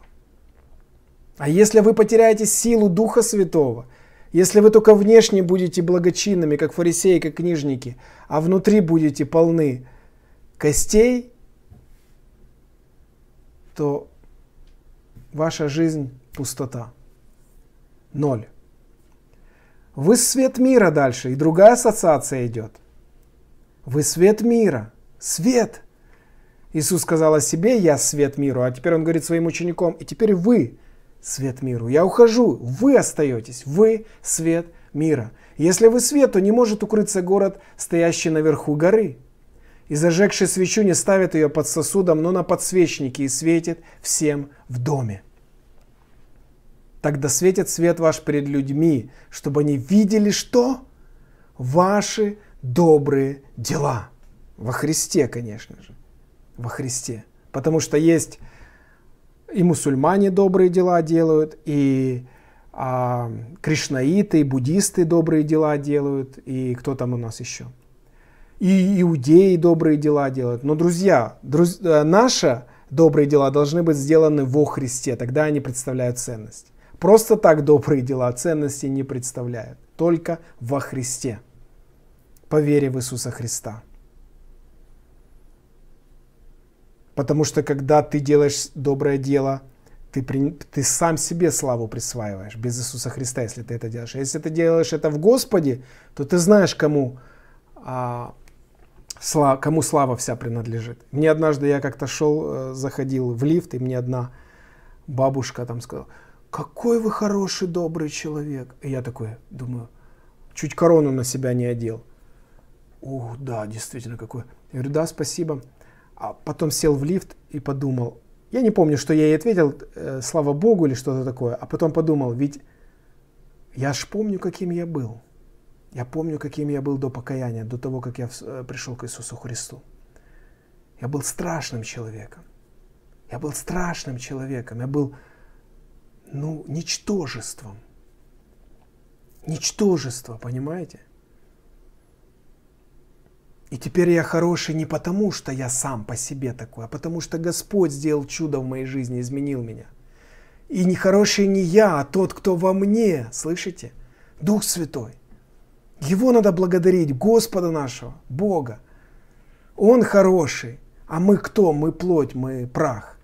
Мы только носители этой драгоценности, через которую Бог проявляется. Так вот, этот свет и эта соль, это должно быть видно другим людям. Я удивляюсь а, так называемым верующим, которые уже давно ходят в церковь, на работе никто не знает, что они верующие. Они вообще молчат, даже никому ничего не говорят. Друг, ты приходишь на работу, первое, что надо сказать, я верующий человек, я верую в Иисуса Христа. И рассказать о своих принципах. Это очень важно. Не надо скрывать это. Ты свет, ты соль. А ты скрываешь Христа. Помните, когда в Иерусалиме там тоже многие иудеи, когда веровали, они тайно веровали. И были такие тайные ученики Иисуса Христа, они боялись. Потому что иудеи уже при, э, э, сговорились между собой, кто начнет веровать в Христа, тех изгонять из синагог. А изгонять из синагог это значит, что ты изгой общества. Но это как сейчас, например, все знают, что ты православный, ты начинаешь веровать в Иисуса Христа, и тебя изгоняют из православия. Говорят, ты сектант. Поэтому люди тайно, тайно старались веровать в Христа, чтобы не раздражать а, вот это все общество официально иудейское в Израиле. Были такие тайные ученики. Но сейчас же вас никто не гонит. Сейчас же вас никто не преследует. Что вам мешает быть светом и солью, открыться перед людьми? Добрым ли то делом? Элементарно. Обычно рано или поздно вопрос зададут. Почему ты не куришь? Почему ты не пьешь вместе с нами? Почему ты не матюкаешься? Почему ты там не блудишь вместе с нами, женщинами не гуляешь? Понимаете, вопросы возникнут. То есть вы не можете скрыть, что вы христианин. Рано или поздно это откроется – и вы должны быть готовы всякому требующему вас отчета рассказать в духе кротости и благоговений, что вы христианин и как вы уверовали в Иисуса Христа. У вас должна быть своя история. Как вы пришли к Иисусу Христу, как Бог поменял вашу жизнь, что произошло. Это очень важно. Поэтому, друзья, светите и солите. Светите и солите. По делам вашим узнают вас, Слава пишет. Да, да, Слава, все верно. По делам вашим. Никого не бойтесь никогда, ни государства, ни про никого не бойтесь. Будьте открыты, Господь с вами. Чего вам бояться, если сам Бог с вами? Вы же не нарушаете какие-то там законы, не воруете, не грабите, не убиваете. Чего вы боитесь? Выходите и проповедуйте Евангелие на кровлях, пока еще есть возможность. Скоро эта возможность закроется. И тогда действительно будут э, преследовать и убивать и гнать. Так что не теряйте времени зря. Итак, а вот какой итог, 16 стих. «Тогда светит свет ваш перед людьми, дабы они видели ваши добрые дела, и что? Прославляли Отца вашего». Не своего они будут, а прославлять Отца вашего Небесного. Одни будут гнать вас, другие будут прославлять. И придет время, они сами придут к Господу через ваше свидетельство. Внешнее ли то или внутреннее – не думайте, что я пришел нарушить закон или пророков. Не нарушить пришел я, но исполнить. Иисус пришел исполнить закон. Ибо истинно говорю вам, доколе не пройдет небо и земля, ни одна йота или ни одна черта э, не придет из закона, пока не исполнится все. Все должно быть исполниться, все, что написано в Писании. Иисус пришел исполнить закон. Сам Бог воплоти, воплотился для того, чтобы исполнить закон. Потому что кроме Иисуса Христа этот закон, к сожалению, исполнить никто не мог. Если бы люди спасались законом, то тогда Иисусу Христу незачем было бы приходить. А зачем Иисус Христос пришел? Для того, чтобы искупить подзаконных и освободить их. Для того, чтобы показать лучший путь. Не через исполнение закона, а через веру в Иисуса Христа. Поверил Авраам Богу, и это вменилось вменилось ему в праведность. Когда ты веришь в Иисуса Христа, Бог забирает твой грех. Твой грех принял Иисус Христос. Он, на кресте Он взял на себя твои и мои грехи. Поэтому, друг, не пытайся исполнять закон. Это только мог сделать Иисус Христос, больше никто на земле. Поэтому Он и воскрес из мертвых. Если бы он нарушил хоть одну заповедь, если бы он хоть где-то согрешил, он бы не воскрес из мертвых. И мог, все бы могли сказать, это человек. Он говорил, что воскреснет, но так и не воскрес. Но он воскрес из мертвых. А воскреснуть из мертвых может только Бог. Итак, дальше он говорит, Итак, кто нарушит одну из заповедей сих малейших и научит так людей, вот эти учения Иисуса Христа, которые мы только что прочитали, тот малейшим наречется в Царстве Небесном. Ну, например, а, вы можете сказать, это делайте, а это можете не делать. Это выполняйте, а это не обязательно. Понимаете? Тут Иисус так и говорит. Ты хочешь быть малейшим в Царстве Божьем или ты хочешь быть великим в Царстве Божьем? Выбирай. И дальше очень важный момент. Ибо говорю вам, если праведность ваша не превзойдет праведности книжников и фарисеев, что это значит? То вы не войдете в Царство Небесное. То есть книжники и фарисеи, почему Иисус так о них критично говорил? Они внешне казались людьми правильными, а внутри были лицемерами. Так вот, праведность наша должна быть выше их. Мы не только должны говорить, но мы должны делать. И дальше сейчас будет глубинное уже учение Иисуса Христа. Вы слышали, что сказано древним, не убивай, кто же убьет, подлежит суду. А я говорю вам, что всякий гневающийся на брата своего напрасно подлежит суду. Кто же скажет брату своему рака, подлежит Синедриону, а кто скажет безумный, подлежит гиене огненной. В Ветхом Завете убийство было грехом. А теперь Иисус говорит, я ввожу поправку в законе. А теперь, если ты гневаешься, гнев, и не контролируешь этот гнев, то ты подлежишь суду Божьему. Если ты скажешь брату своему рака, знаете, что такое рака? Безумный человек. А знаете, что такое дурак? Ду, дуо – это два. Рака – это безумный. Когда ты говоришь дурак на кого-то, ты говоришь вдвойне безумный человек. Вдвойне безумный человек. Дурак. Рака, вот откуда это пошло, друзья. Такое, казалось бы, безобидное слово, но вдумайся, что ты говоришь. И вот за это слово, которое ты сказал, ты подлежишь гиене огненной. Это слова Иисуса Христа. Против них не попрешь. И если ты не покаялся в своих словах, которые ты когда-либо говорил на кого-то, на кого бы то ни было, Дурак это еще у нас мягкое слово, да, сколько матюков и сколько грязи льется на людей вокруг. Это ужас, что творится сейчас с обществом. Это страшно, что происходит. Общество все ближе и ближе развращается и развращено. Люди перестали друг друга уважать и любить. Вот что сейчас происходит. Итак, если ты произносишь это слово «дурак», то ты подлежишь гиене огненной. И за перед Богом ответишь, если не покаешься. Дальше смотрите, как интересно. Если же ты приносишь дар твой к жертвеннику, и там вспомнишь, что брат твой имеет что-нибудь против тебя, оставь там дар твой пред жертвенником, и пойди прежде примирись с братом твоим, и тогда приди и принеси дар твой. Мирись с соперником твоим скорее, пока ты еще на пути с ним, чтобы соперник не отдал тебя судье, а судья не отдал бы тебя слуге, и не вергли бы тебя в темницу. Истинно говорю вам, тебе, ты не выйдешь оттуда, пока не отдашь до последнего кадранта. Другими словами, когда ты приходишь, э, как это понимать, э, вот согласно в Новом Завете, да? У нас сейчас нету ни храма, ни жертвенника, мы сейчас уже от храма не зависим. А мы являемся храмом Духа Святого, живущего в нас. Как это понимать? Очень просто. Если ты приходишь и начинаешь молиться, и Бог тебе напоминает человека, которого ты обидел, перестань молиться лицемерной, лицемерной молитвой своей. Господи, слава тебе! Господь говорит, ты лицемер, пойди прежде перемирись с братом твоим. Ты обидел его. Пойди попроси у него прощения, а потом приходи и с чистым сердцем и устами обращайся ко мне. Потому что в противном случае Бог тебя не слышит. То же касается и взаимоотношениях с женами. Если мужья неуважительно относятся к своим женам, унижают их, бьют их, ни во что не ставят, да кто ты мне такая и так далее. Не любят жен своих, не уважают их, не отдают честь, как написано, отдавайте женам сугубую честь. Не любят своих жен. И ты приходишь на молитве, Господи, слава тебе, я, я благодарю тебя. Да ты лицемер. Ты лицемер, пойди попроси прощения у своей жены за то, что ты натворил.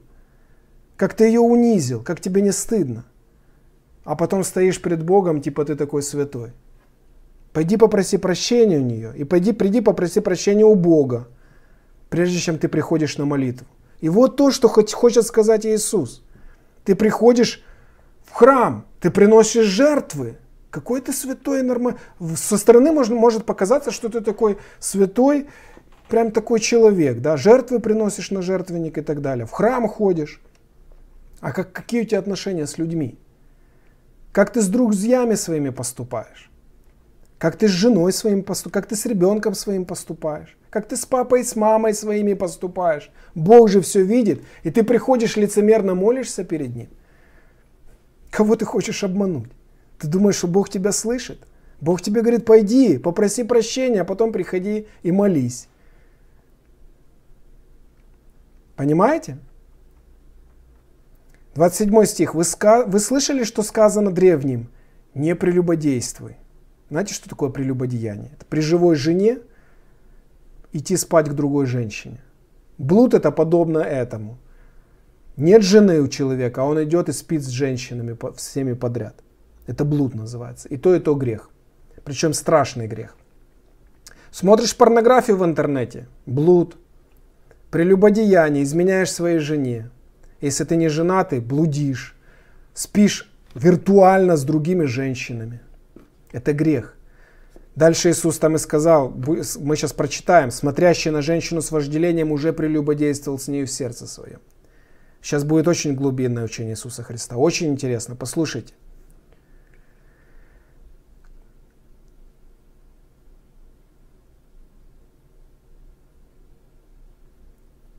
27 стиха. Вы, вы, э, вы, вы слышали, что сказано древним? Не прелюбодействуй. А я говорю вам, что всякий, кто смотрит на женщину с вожделением, уже прелюбодействовал с нею в сердце своем.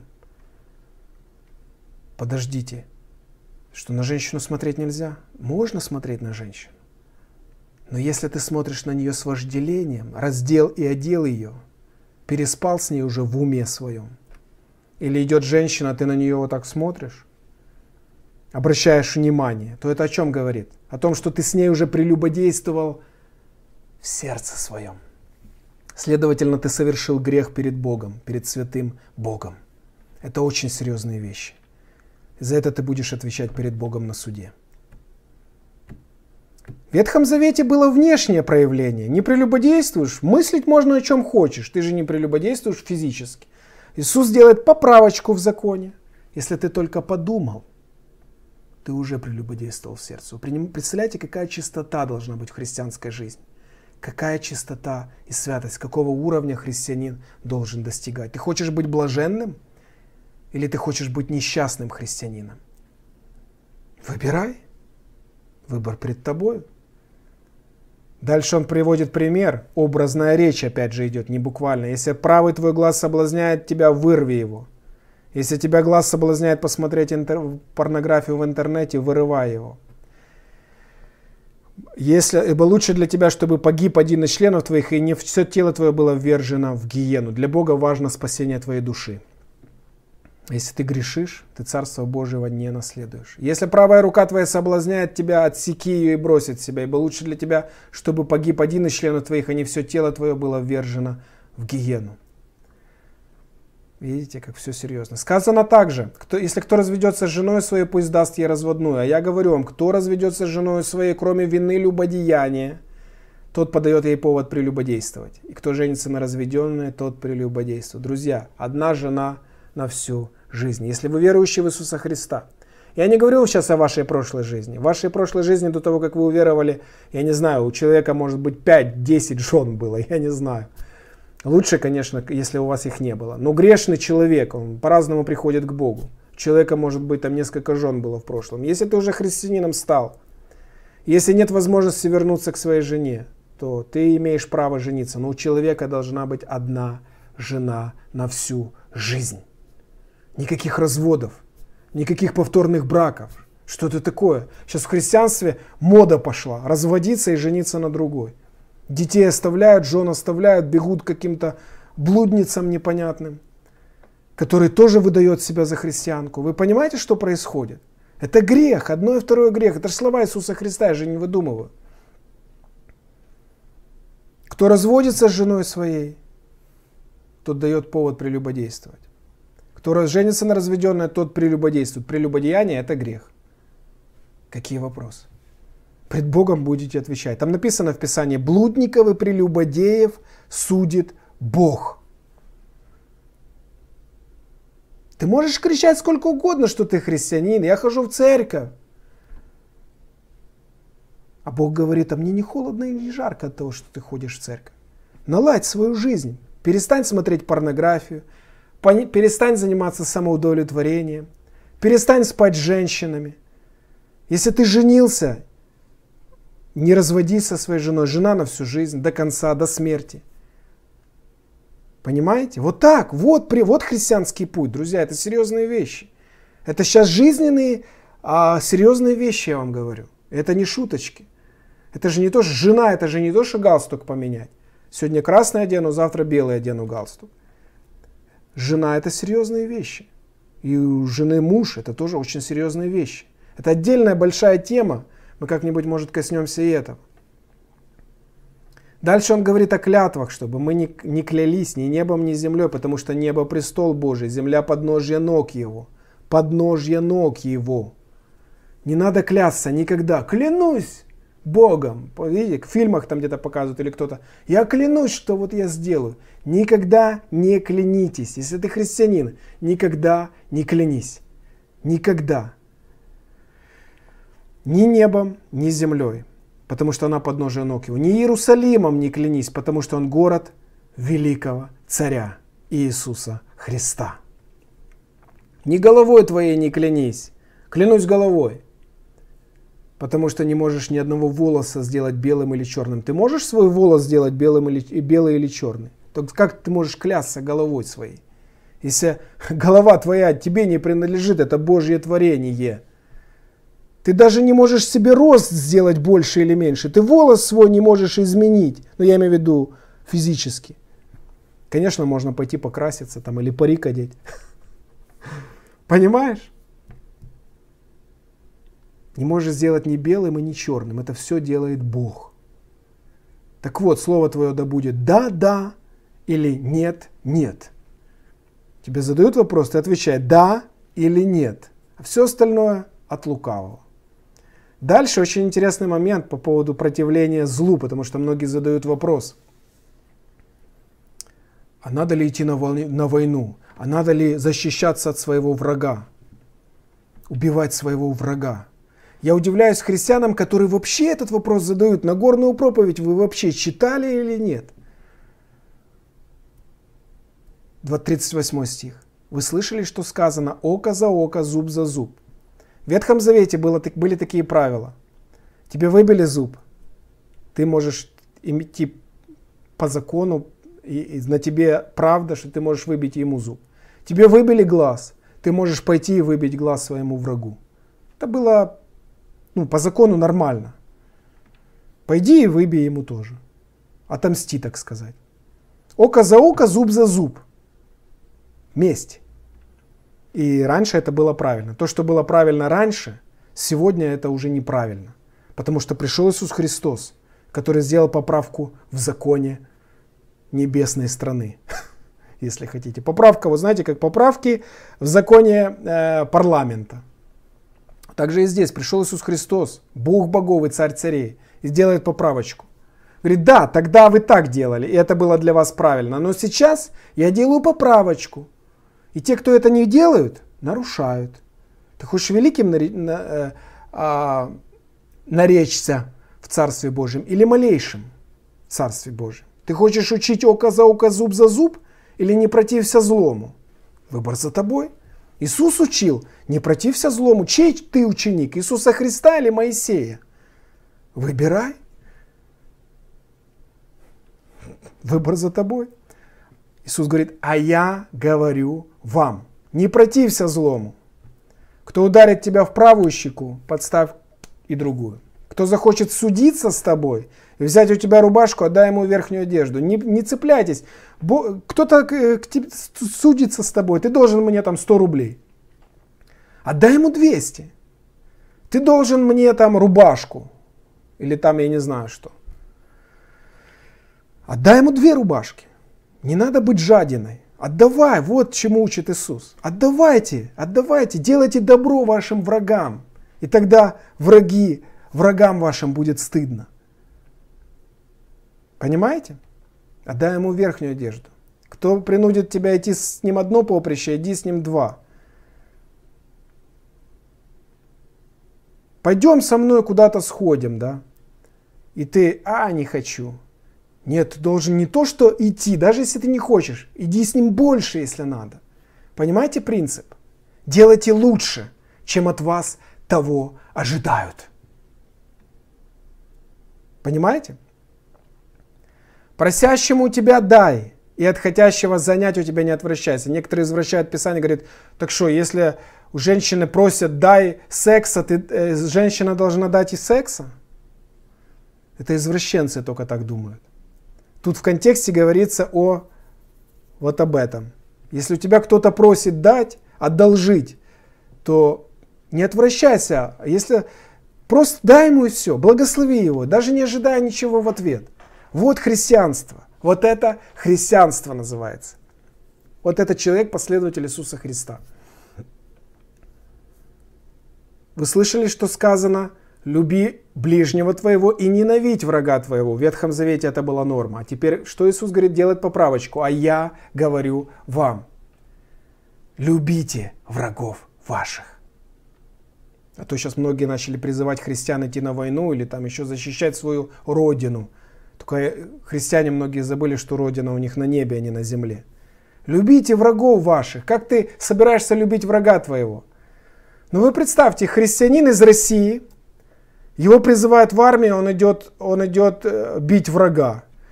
Христианин из Украины, его тоже призывают в армию, он идет бить врага. Россия и Украина встречаются, два христианина, и начинают друг друга убивать. Что это?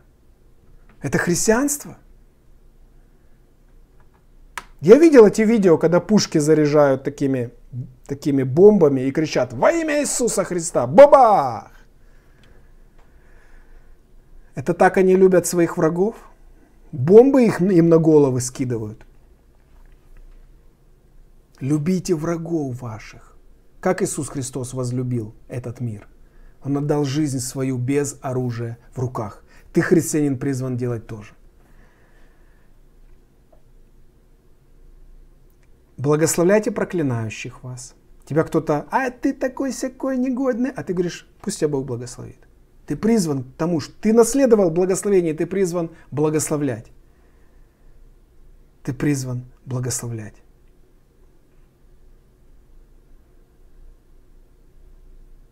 Благотворите ненавидящим вашим, делайте добрые дела тем, кто вас ненавидит.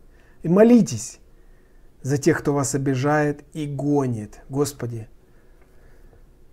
благослови, э, благослови там Витю, Петю, Ваню, врагов моих. Они гонят меня, они обижают меня. Благослови их. Никакого зла не держите на этих людей. Бог мстит. Бог мстит, не, не мы с вами.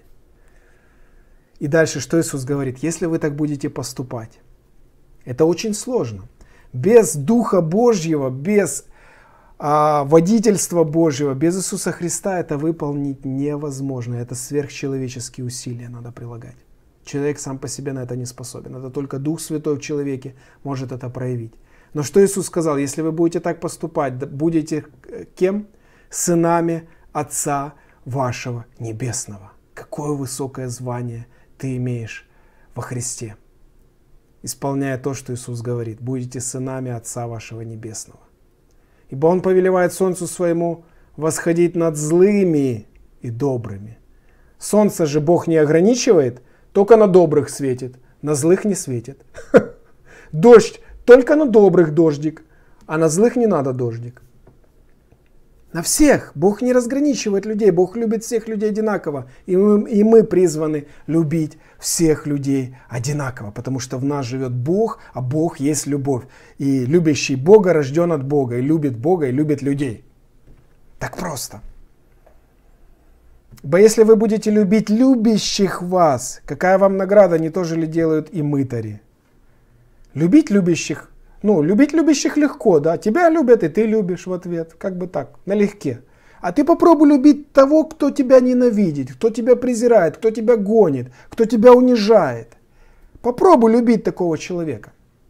Любовью Иисуса Христа, который возлюбил тебя, который простил тебе все грехи. Если же вы приветствуете только братьев ваших, что особенного делаете, не так же ли поступают и язычники? Итак, будьте совершенны, как совершенен Отец ваш Небесный. То есть приветствовать надо всех, любить всех людей одинаково.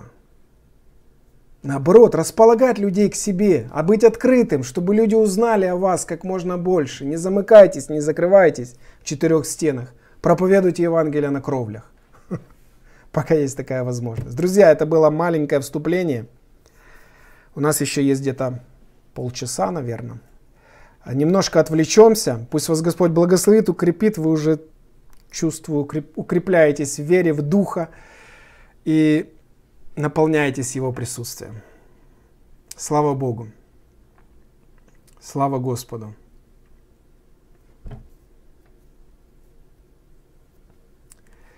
А комментарии, друзья. Давайте посмотрим на ваши комментарии. Михаил пишет, нам, христианам, защищаться не надо. В этом и счастье. По воле Господа нас, так сказать, защищают те, кто идет в ад. Так как война нужна лишь тем, кто идет к сатане.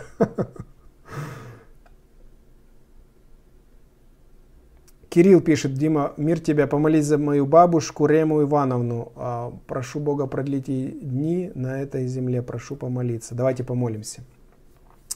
Господь, спасибо тебе за Кирилла, за его искреннее жаждущее сердце. Боже, просим Тебя за его бабушку Рему Ивановну. Я прошу Тебя, чтобы Ты благословил ее сейчас. Ты видишь ее состояние здоровья, то, что она в любой момент может оставить этот мир. Я прошу Тебя о том, чтобы Ты благословил ее, укрепил ее здоровье, чтобы Ты, Господи, открыл ей себя, чтобы она прежде всего знала Тебя, пребывала с Тобой, искала лица Твоего, и благослови ее, пожалуйста, укрепи ее в вере, и сохрани ее еще на этой земле. Продли ее годы для того, чтобы она еще больше узнала о Тебе, да будет прославлено имя Твое через эту ситуацию во имя Иисуса Христа. Аминь. Пусть вас Господь благословит, Кирилл, и вашу бабушку. Все будет хорошо. Держитесь за Господа. Нико Капанян, Капанян пишет, если враг напал, надо защищаться. Ну, есть разные степени защиты. Защищаться это не значит убивать человека. Защищаться можно словом.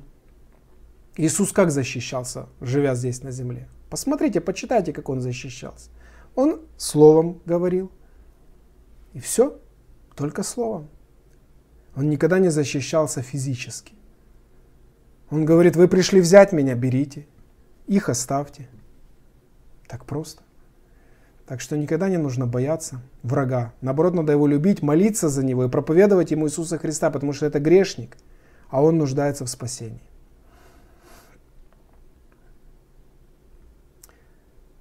Я одежду отдала, 4 пакета.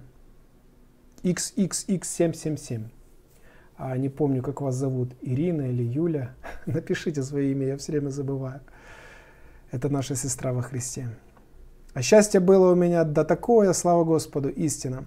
У меня был случай, не хочу хвалиться, однажды я пожертвовал сумму в метро одной, одному, я уже не помню кому, то ли пожилому человеку. Я не часто это делаю, скажу вам честно. Я не делаю это, потому что есть мошенники, которые ходят, собирают. Но я почувствовал, что надо этому человеку дать.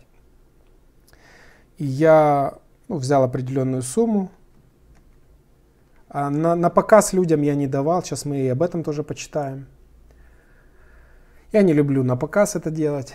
А я вышел, уже когда он вышел из метро, вернее, вышел из, из поезда, я за ним и тихонечко ему так всунул и все. Всунул и все, пошел, ничего, так даже не обратил внимания на его реакцию, ничего. Я иду, я не успел трех метров отойти от этого человека, как почувствовал Божье присутствие, Божье наполнение.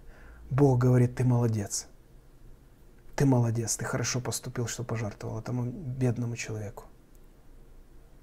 Так что спешите делать добрые дела, благословляйте а, малоимущих или людей, которые нуждаются в поддержке. Бог вас благословил финансами, это же Бог вам дал для того, чтобы вы поддерживали слабых и малоимущих. И получите благодать и благословение от Господа. Дай аминь. Так что это действительно реально работает. Бог благословляет таких людей, которые искренне от сердца дают.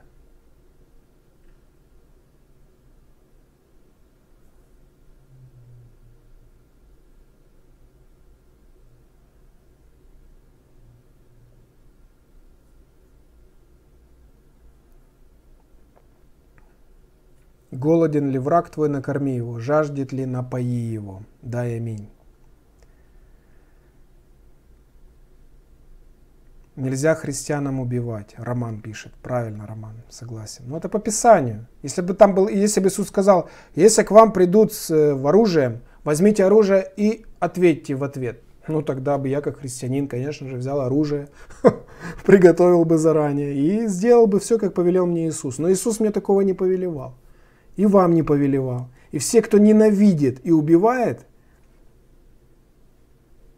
волей-неволей становитесь служителями дьявола. Да. Всякий, кто гневается на брата своего, уже грешит. А тот, кто убивает, грешит вдвойне. И пойдет э, на Божий суд отвечать, и пойдет в ад и в озеро огненное. Это серьезные вещи. Так что, друзья, очень будьте осторожны. ЕВ пишет, а в притчах написано «Утешайся женой юности твоей». Да. Там много чего, кстати, в притчах написано интересного притчи. И в песне песней тоже много написано. Там написано, зачем тебе чужая женщина? У тебя есть своя женщина. Утешайся этой женщиной. Тебе Бог дал эту женщину, утешайся ей. Зачем тебе смотреть на других? Зачем грех делать? Зачем грех на душу брать? Поэтому, друзья, читайте чаще Библию лучше. Я понимаю, что мы живем в таком мире, где господствуют дьяволы, где очень тяжело, особенно в мир, в век интернета, технологий, тяжело удержаться. Но я вам говорю, вы хотите быть блаженными людьми, я хочу быть блаженным человеком. Достигайте уровня совершенства в Отце. Будьте совершенны, как совершенен Отец ваш Небесный, Иисус сказал. Хм, выбор за нами. Хотим ли мы достигать совершенства во Христе или не хотим. Есть такое понятие, апостол Павел писал, совершенный возраст Христов. Есть младенец во Христе, есть юноша во Христе, есть отец во Христе, есть совершенный возраст во Христе. А кто-то говорит, я еще не родился, я только еще только в зачатом состоянии нахожусь во Христе, да? Михаил пишет, главное быть твердым в вере. Да и аминь.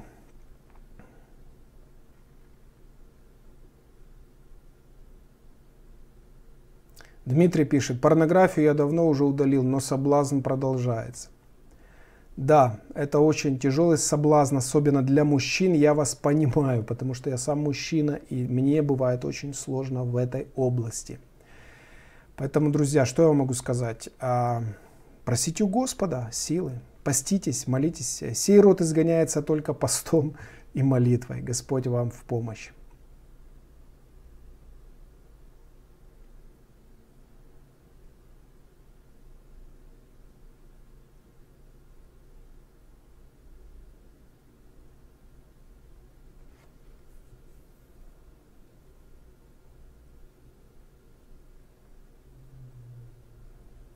Ученик Христа пишет, хватит постоянно просить у Бога прощения. Он раз и навсегда простил по вере в Иисуса. А, ты прав, но апостол Иаков пишет, или не помню кто, пишет, что все мы много согрешаем. Кто не согрешает в слове, тот человек совершенный. Поэтому, если мы согрешаем, нужно каяться. Если ты стал христианином, это не значит, что ты никогда уже не грешишь. Рано или поздно где-то дьявол тебя подловит. Тут главное обратить на это внимание. Потому что если ты раз не обратишь внимания, второй раз обидишь человека, третий раз а, там где-то в блуд упадешь, четвертый раз и говоришь, я христианин, мне каяться не надо. Ты уже не христианин, ты уже лицемер. Конечно, тебе каяться не надо, если ты, Бог тебя простил, и ты чистый сердцем, Бог тебе ничего не говорит. Но если ты приходишь на молитву и знаешь, что ты кого-то обидел или где-то согрешил, то лучше покайся, а потом приходи на молитву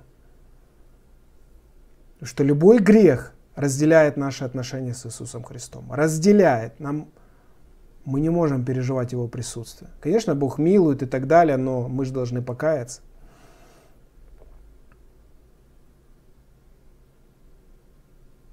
Ариэль Иванченко пишет, в Израиле такое происходит, грешники везде и полная деградация. Я не сужу, но это реальность. Да, а в Откровении так написано об Израиле, что это Содом и Египет где и Господь наш распят. Это Содом и Египет. И такое состояние в Израиле будет до второго пришествия Иисуса Христа. К сожалению, это обычное мирское развращенное государство, как любое другое государство в этом мире. Нету святого государства на земле. Все развращены, все до одного негодны, все согрешили против Бога. И евреи не исключение. Потому что евреи тоже люди, они не боги. Поэтому всем нам нужен Иисус Христос для спасения. Бог повелевает ныне нам всем повсюду покаяться, ибо Он назначил день, в который будет праведно судить всю вселенную посредством предопределенного им мужа, подав удостоверение всем, воскресив его из мертвых. То есть только через Иисуса Христа наше спасение. Да, аминь. Так, ну что ж, друзья, слава Богу за вас, слава Богу за ваши комментарии. Нас смотрят почти 200 человек – так что слава Богу за нас. Спасибо Богу после молитвы, что-то наша связь вроде бы не разрушается. Уже два раза сегодня разрушалась, но слава Богу вроде как а, мы общаемся, продолжаем общаться. Слава Богу за эфир, за то, что Бог хранит нас. И я предлагаю нам а, почитать еще некоторую новость. Михаил пишет, при постройке третьего храма надо будет спасать людей, открывать им глаза на то, чтобы, что мы уже сейчас знаем. А пока что никто не хочет ничего слышать. Да, это так, это верно. Песни будут? Будут. Будут, ученик. Спасибо, что напомнил. Ученик Христа знает, о чем говорит. Будут песни, да. Все согрешили, лишены славы Божьей. Слава. Да и аминь. Именно это я и хотел сказать. Да и аминь. Новости и размышления, э, размышления от Михаила я хочу вам зачитать. Он мне всегда перед эфиром что-то такое подкидывает, какую-то свежую новость, которую я даже еще не успел посмотреть. Давайте я вам процитирую отрывок, если, конечно, Михаил не возражает. Спасибо ему, кстати, за то, что он следит за новостями в Израиле и следит за развитиями событий. Это очень важная инфа. Вот послушайте. Послушайте, я вам зачитаю.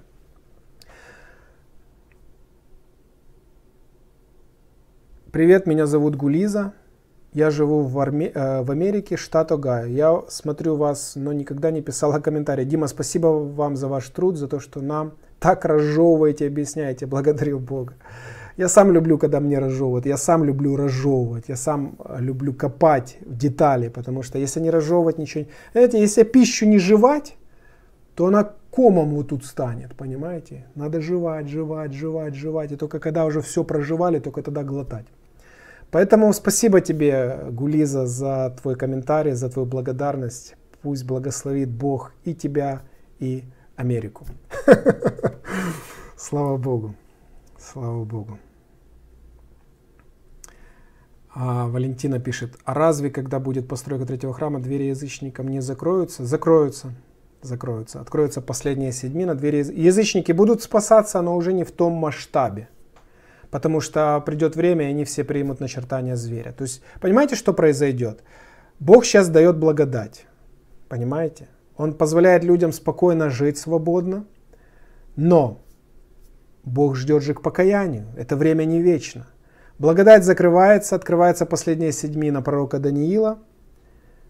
Двери для язычников закрываются, Бог начинает работать с евреями со своим народом. Но это не значит, что язычники не будут спасаться. Ведь сейчас времена язычников, евреи же спасаются, хотя сейчас времена язычников, конечно, спасаются, но не в том количестве. Также и в последнее время, когда откроется последняя седьмина, спасаться будут евреи в, а, в основной массе, а язычники уже очень мало. Поэтому Почему? Да потому что придет антихрист и начнет всех штамповать и всем, всех заставлять себе поклоняться. А это уже точка невозврата будет. Понимаете? Вот Иисус и говорит. «А, хотя спасение будет для всех, никто не будет э, ну, закрыт. Поэтому, поэтому, друзья, думайте, решайте, принимайте решение сегодня. А Ариэль пишет, если будут вопросы, то говорите, я буду вашим разведчиком в плане Израиля. Конечно, пиши мне на e-mail, любые новости, все отслеживаем. Ну а сейчас мы давайте зачитаем эту новость. Я посчитал нужным зачитать вам ее для вас от Михаила. Дима, я вчера еще размышлял о том, почему именно сделка века Трампа может быть именно тем, что в Библии написано «утвердит завет одна седьмина», а не какое-то другое событие. Многие люди не понимают, говоря, при чем здесь сделка века, если речь идет о завете. А некоторые говорят, что седьмина утверждает завет, а не завет утверждает седьмину. Но ведь смысл-то в том, что последняя седьмина начинается с утверждения завета.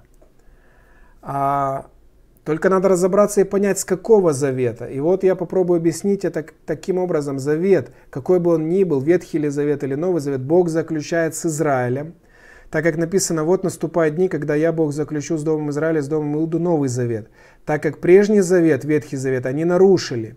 То есть Новый Завет заключается с Израилем, так как Израиль это природные ветви, которые временно отломились от лозы, а язычники – ветви от дикой маслины. Мы когда-то об этом размышляли, да.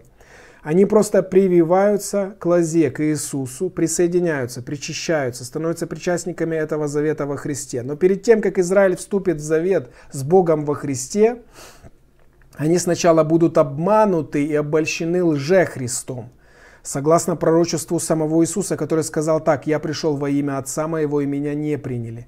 Но придет другой во имя свое, то есть Антихрист, ложный Христос, и вы его примете». А согласно Писанию, Новый Завет, который Бог заключил с Израилем, является заветом мира, так как написано, Бог во Христе примирил с собою мир, не вменяя людям преступлений их. Поэтому Новый Завет во Христе – это завет мира, примирение – вот поэтому лже-Христос – подделка Христа. Он, подделываясь под Бога, как бы копируя Божьи действия, заключит с Израилем завет мира, подпишет мирный договор. Или по-другому э, сказать, вступит в союз с ними, с Израилем. И будет действовать обманом, то есть обманет Израиль. И лестью овладеет царством. Именно так написано в 11 главе Даниила, начиная с 21 стиха и далее. Молодец, Михаил, спасибо тебе за столь объемный и конкретный текст. Вот как это сделает тот, вот кто это сделает, тот и есть сам Антихрист. И мы, конечно же, узнаем его и увидим собственными глазами. Для меня это будет большая радость, так как придет, пройдет всего лишь каких-то несколько долгих, э, недолгих, э, каких-то недолгих 3, 5, 7 лет после этого, в зависимости от того, сразу ли мы узнаем или нет его. И явится Иисус на облаке, как Он обещал, говоря, «Я приду и возьму вас к себе, чтобы вы были там, где я». Я так радуюсь, что скоро увижу Иисуса и обниму Его. И вот любопытные новости, что они примирители. Не хотят якобы делить Иерусалим пополам, а оставлять его так, как он есть. Я как раз подумал о том, что ведь так и написано в Откровении 11 главе 1-2 э, стихи. «И дана мне трость, подобно жезлу, и сказано, встань и измерь храм Божий, и жертвенники, поклоняющихся в нем, а внешний двор храма исключи и не измеряй его, ибо он дан язычникам, они будут попирать святой город 42 месяца, то есть 3,5 года, да?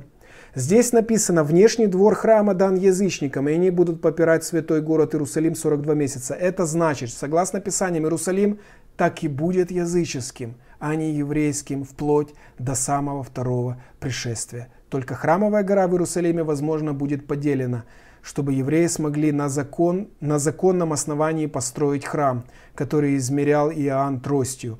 Через 42 месяца Иисус вернется, чтобы воскресить мертвых во Христе, восхитить церковь. Вот еще посылаю тебе статейку о том, что Саудовская Аравия, я уже ее читал, есть такая статья, я вам сейчас ее зачитаю настолько сильно заинтересована в том, чтобы сделка века Трампа состоялась, что она готова выплачивать Абумазану практически пожизненную пенсию, так как он уже достаточно стар.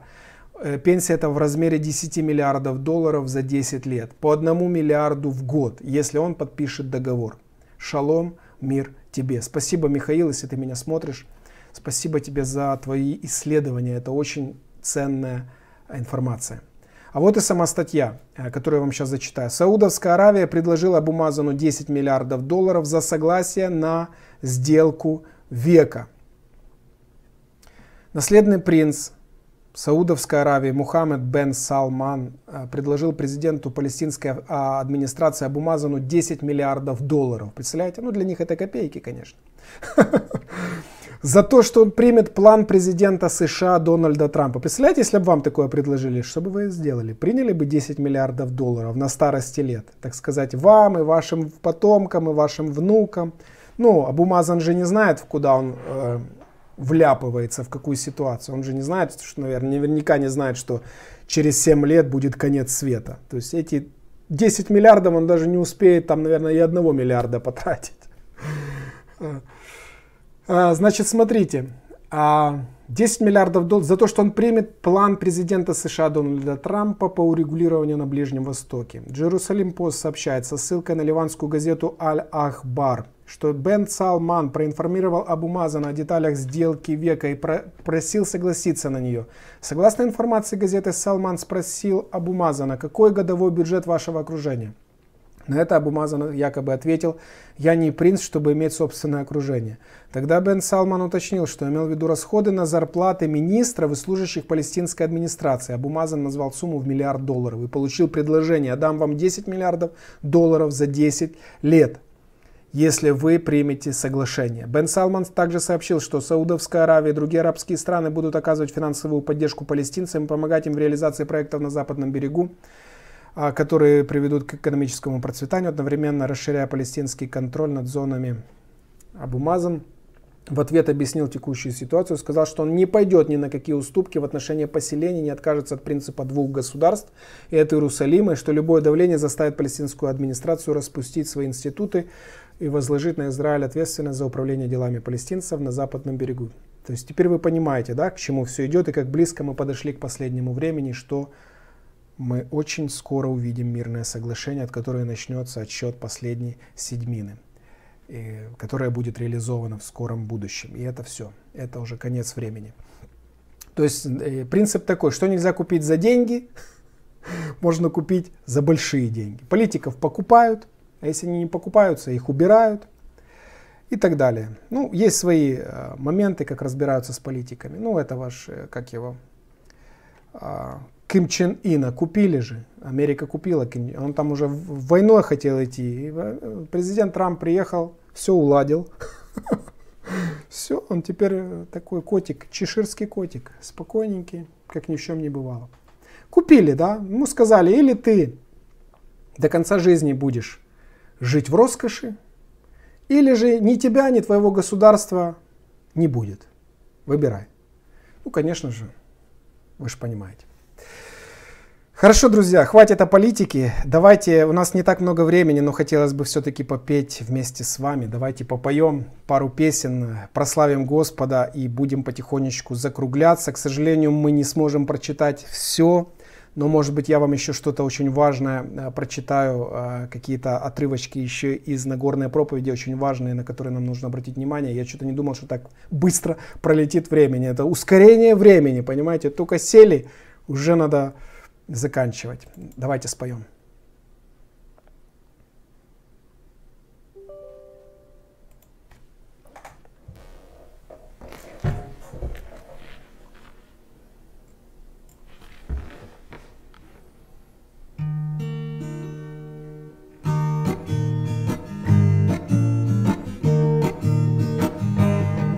Хвали, душа моя, Господа, Хвали, душа моя, Господа. Хвали, душа моя, Господа. Хвали, душа моя, Господа. Пока я жив, славлю Бога И буду петь Ему, пока я есть Хвали, душа моя, Бога и воздавай Ему славу и честь, хвали, душа моя, Господа. Хвали, душа моя, Господа, хвали, душа моя, хвали, душа моя, Господа. Хвали, душа моя, Господа. Блажен, кто поверил Богу, Творцу небес и земли, Дающего хлеб голодным, Хранящему от беды.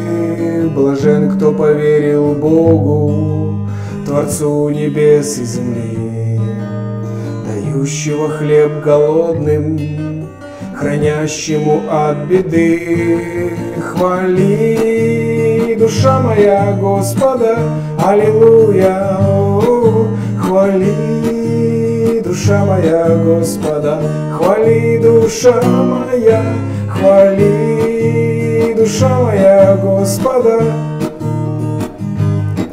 хвали, душа моя Господа, душа моя Господа.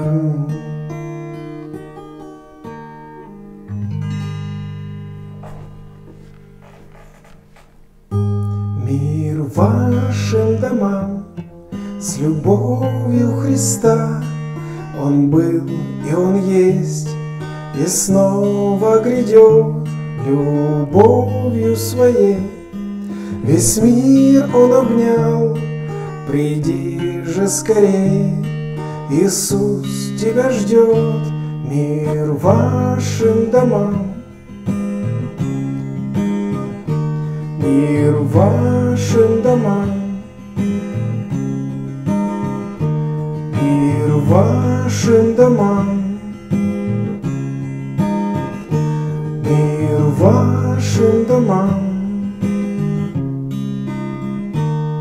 Тебя того, кто все потерял, От этой жизни очень устал, Тебе тому, кто долго ждал, Иисус Христос спасение дал, И мир, и покой, и рай неземной, Мир вашим домам.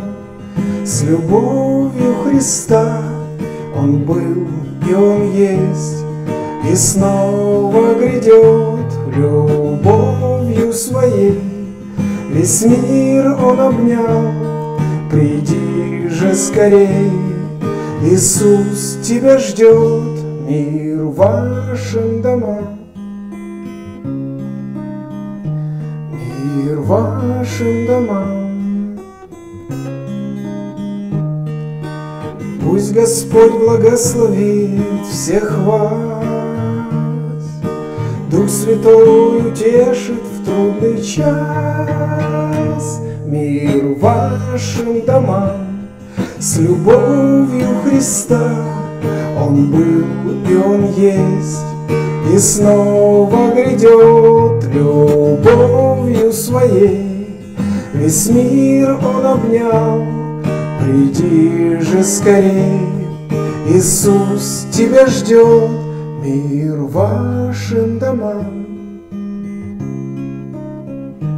Мир вашим домам. Вашим домам. Мир вашим домам.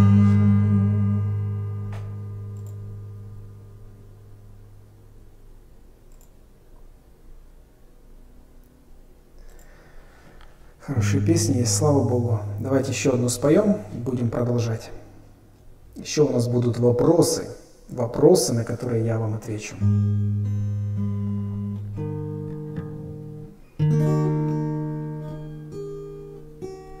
Иисус, король, в сердце моем, и Божий свет пусть пребывает в нем.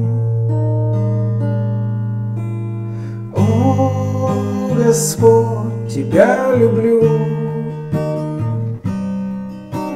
славлю и благодарю.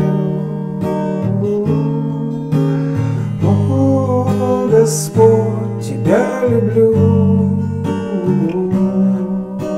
славлю и благодарю.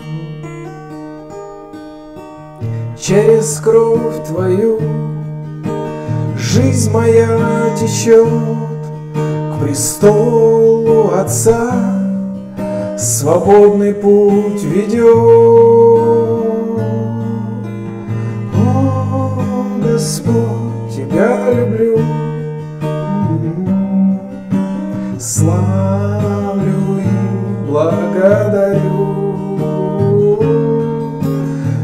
О, Господь, Тебя люблю,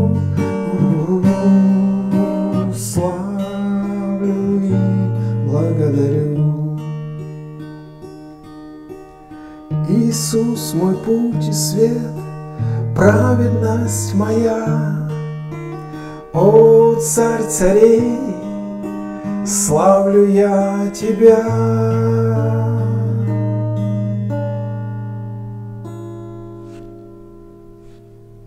О, Господь, Тебя люблю, славлю и благодарю. Господь, Тебя люблю, славлю и благодарю. Славлю и благодарю. Славлю и благодарю.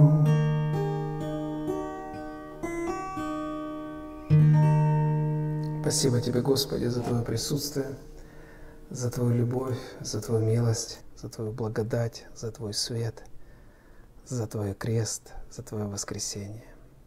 Благослови и направь наше общение дальше. Во имя Иисуса Христа. Аминь. Аминь. Вопросы, друзья. Есть определенные вопросы. Давайте попробуем на них отвечать.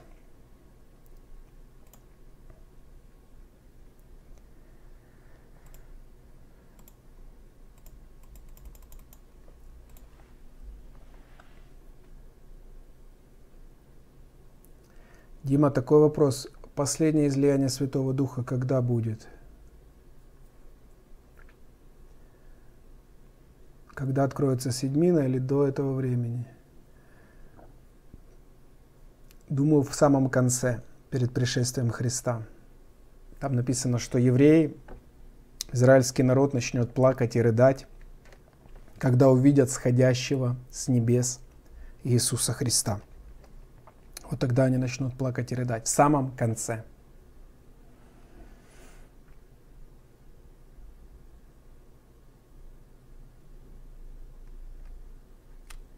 Алексис Лысенко. Я тоже на вас подписался, Дмитрий. Слава Богу, пусть вас Господь благословит. Мы все ищем Господа в этом мире, мы все нуждаемся в Нем. Без Него мы ни, ничего не можем ни делать, ни жить. Даже если мы имеем все, но не имеем Господа Иисуса Христа в сердце, мы банкроты, наша жизнь проходит впустую. Я вам скажу это на собственном личном опыте.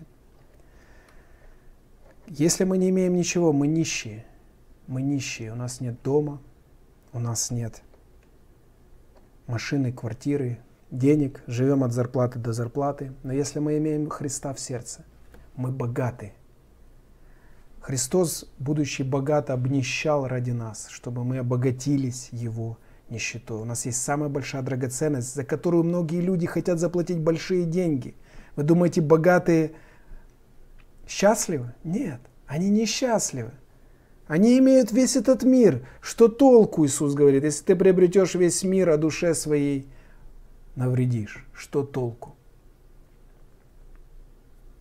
Большие деньги платят люди за удовольствие, а нам Господь дает это даром, мир свой, покой и радость. Так что надо его славить, надо стараться жить чистой и святой жизнью, надо любить Господа, любить людей. Первая, вторая заповедь и все у нас будет хорошо.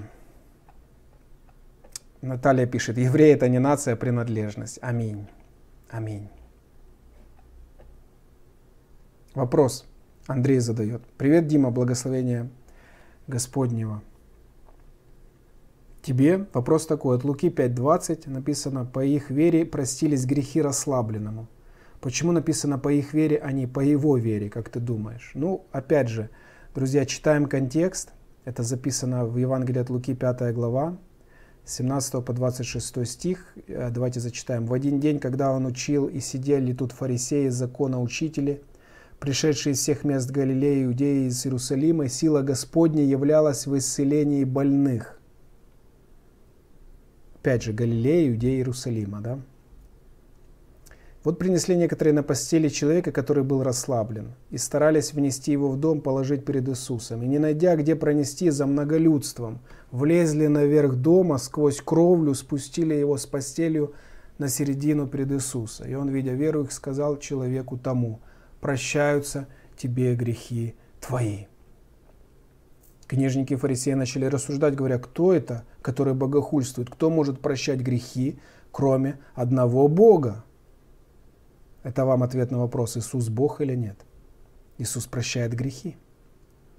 Иисус, уразумев помышление, сказал им в ответ, что помышляете в сердцах ваших? Что легче сказать, прощаются тебе грехи или сказать, встань и ходи? Но чтобы вы знали, подчеркните, Сын Человеческий имеет власть на земле прощать грехи. Книжники удивлялись, кто может прощать грехи? Бог только может прощать грехи. То есть косвенно Иисус Христос подтвердил свою божественность. Сын человеческий имеет власть на земле прощать грехи. Вы слышите такое утверждение? Вы еще до сих пор думаете, что Иисус не Бог? И он тотчас стал перед ними, взял на чем лежал и пошел в дом свой, славя Бога. И ужас объял всех, и славили Бога, и, быв исполнены страха, говорили, чудные дела видели мы ныне. Вот контекст. Что там произошло в первую очередь? Обратите внимание, исцеление. А во вторую очередь Иисус продемонстрировал свою божественную власть для того, чтобы показать этим религиозным лицемерам, что Он имеет власть на земле прощать грехи. Следовательно, Иисус Бог. Это первое. Второе. Исцеление произошло по их вере, а прощение грехов исходит от Бога, хотя Бог и исцеляет людей. Иногда даже это не зависит от их веры. Как и не всегда зависит от веры человека. Солнце или дождь, помните? Грешников тоже Бог исцеляет. Просто люди, грешники, они даже не знают, как это они становятся здоровыми, сами по себе, что ли? Да нет, Бог приходит в их жизнь, они просто не могут этого понять и осознать. Поэтому не всегда и по вере происходит исцеление, друзья. Иногда происходит потому, что Бог так решил. Что этому человеку надо еще пожить, потому что он покается через 10 лет, ему надо дать еще здоровье, пусть поживет. А этот человек не покается уже на протяжении жизни, его надо забрать сегодня. Понимаете? И мало того, он еще может навредить другим. Поэтому тут мы не знаем, э, пути Господни неисповедимы. Поэтому вот вам, друзья, это не всегда зависит от веры. Не всегда зависит от веры. Но произошло исцеление и произошло прощение грехов. Любовь спрашивает, объясните, пожалуйста, как вы понимаете внезапность пришествия, о чем так много говорил Христос, восхищение церкви по первому Фессалоникийце и пришествие по Захарии, когда ноги его станут на горе Илионской. Это разные вещи, так как здесь он придет уже вместе со святыми, сядет на престоле судить мир. Но здесь никаких разделений нет. Это описание одного и того же события, только с разных точек зрения, с разных телекамер, если хотите. Да, один описывает так, другой описывает так, но в принципе суть та же самая, что пророк Захария, что э, евангелист Матфей или там Лука, да, все это то же самое, или апостол Павел, все это те же самые события, только с разных сторон. А, поэтому Господь придет не один, не один Он придет. Вначале будет восхищение церкви, потом Господь придет со всеми святыми, как написано. И это об этом написано не один раз в Писании. Павел задает вопрос. Дима, дорогой брат, мир тебе и твоей семье и команде, которая помогает тебе делать эфир. Команда, команда. Тут команды особо нету, но все равно команда, команда есть. Команда Иисуса. Дима, раскрой тему рождения от Слова Божьего. А, многие крестившиеся утверждают, что получили при крещении водном дар Духа Святого, а в жизни как были язычниками, так и остались. А, читаем это место из Писания, друзья, я специально подготовил для вас. Это Деяния апостолов, 19 глава, с 1 по 7 стих. Рожденный от плоти, нет, давайте вначале зачитаем Евангелие от Иоанна, 3 глава, 6 по 8 стих. Иисус говорит, это слова Иисуса Христа. Рожденный от плоти, есть плоть. То есть мы рождаемся физически. От мамы. От мамы и папы мы родились. Это плоть. Я плоть. Это плоть. Пока просто плоть. Дух спит там внутри. И дальше. А рожденное от духа есть дух. Как мы получаем рождение от духа? Когда каемся в своих грехах, когда начинаем веровать в Иисуса Христа, Дух Святой сходит на нас – это называется рождение духа. И наш дух оживает. Он спал. Наш дух спал внутри. Мы не понимали духовные вещи. Мы были закрыты. Мы жили, но жили как во сне. Наш дух спал. Приходит Дух Святой, оживляет нас. Дух наш оживает внутри нас благодаря вере в Иисуса Христа, благодаря Духу Святому, который поселяется в нас. Слышите? Дух Святой поселяется в сердце верующем человеке. И таким образом дух оживает. Это называется рождение от духа. Дальше Иисус говорит, не удивляйся тому, что я сказал тебе, должно вам родиться свыше. Есть понятие рождения свыше. Рождение свыше, рождение от Духа Святого. Если ты не родился от Духа Святого, ты не наследуешь Царство Божьего. Как ты себя не называй. Тебе нужно родиться от Духа Святого, покаяться в своих грехах, пережить прощение грехов, рождение свыше и наполнение Духом Святым должен вам родиться свыше. Дух дышит где хочет, и голос его слышишь, а не знаешь, откуда приходит и куда уходит. Так бывает со всяким рожденным от Духа. Где тут упоминание о крещении? Мы рождаемся от Духа. Крещение это как последствие того, что уже произошло, когда ты поверил в Иисуса Христа. Крещение не спасает само по себе. Еще одно место хорошее. Это Деяния апостола, 19 глава, с 1 по 7 стих. Во время пребывания Аполлоса в Коринфе Павел, пройдя верхние страны, прибыл в Ефес, и там, найдя некоторых учеников, сказал им, приняли ли вы Духа Святого уверовав? Обратите внимание, приняли ли вы Духа Святого уверовав? Он не сказал, приняли ли вы Духа Святого, когда покрестились? Нет, он говорит, вы уверовали в Иисуса Христа, так вы приняли Духа Святого. Потому что, когда ты поверишь в Иисуса Христа, ты должен принять этого Духа. Если ты не принял, значит что-то ненормально. Они же сказали ему, мы даже не слышали, если Дух Святой. То есть впервые слышат вообще о Духе Святом. Но тогда был переходный период от Ветхого Завета к Новому. Тогда было Иоанново крещение. Это такой а, плавный этап перехода от Ветхого Завета к Новому. И Иоанн Креститель это такое, эм, как сказать, проводник в Новый Завет. Иоанн Креститель это последний ветхий пророк. Слышите? Который соединяет мостик между Ветхим и Новым Заветом. Между законом Моисея и Иисусом Христом. Иоанн Креститель. Слышите? И вот это и произошло. Они мы, говорит, уверовали в Иисуса Христа, но мы даже не слышали о Духе Святом. Он сказал им, во что же вы крестились? То есть они уже крестились, они, они э, приняли водное крещение. Но они не приняли Духа Святого, они даже не знают, что это такое. Они только вот приняли водное крещение. Он же сказал им, во что же вы крестились? Они сказали, в Иоанново крещение. Иоанн крестил покаяние, Павел сказал, Иоанн крестил прощение, крещение покаяния, говоря людям, чтобы веровали в грядущего по нем, то есть во Христа Иисуса. Но Христос уже пришел. Услышав это, они крестились во имя Господа Иисуса. И вот, и вот, и когда Павел возложил на них руки, не шел на них Дух Святой, и они стали говорить иными языками и пророчествовать. Всех их было человек около 12. Вот вам ответ на ваш вопрос. Спасает нас вера Вера, не крещение, вера в Иисуса Христа. Что толку, если ты покрестишься в воде, а живешь как последний грешник? Что толку, если ты обрезание принимаешь и читаешь Писание, а живешь как последний грешник? Что толку с тебя? Кто, а кто оправдается на суде в последний день? Тот, кто обрезан и читает Писание и грешит? Или тот, кто не обрезан и, может, мало знает Писание, но живет чистой святой жизнью во Христе. Кто оправдается, как ты думаешь? Вопрос к тебе на засыпку. Юрий задает вопрос. Я, как думаешь, перед концом света будет вознесение Господне а, а, відбуватися, осуществляться? В какой форме это будет? В какой форме, спрашивает Юрий.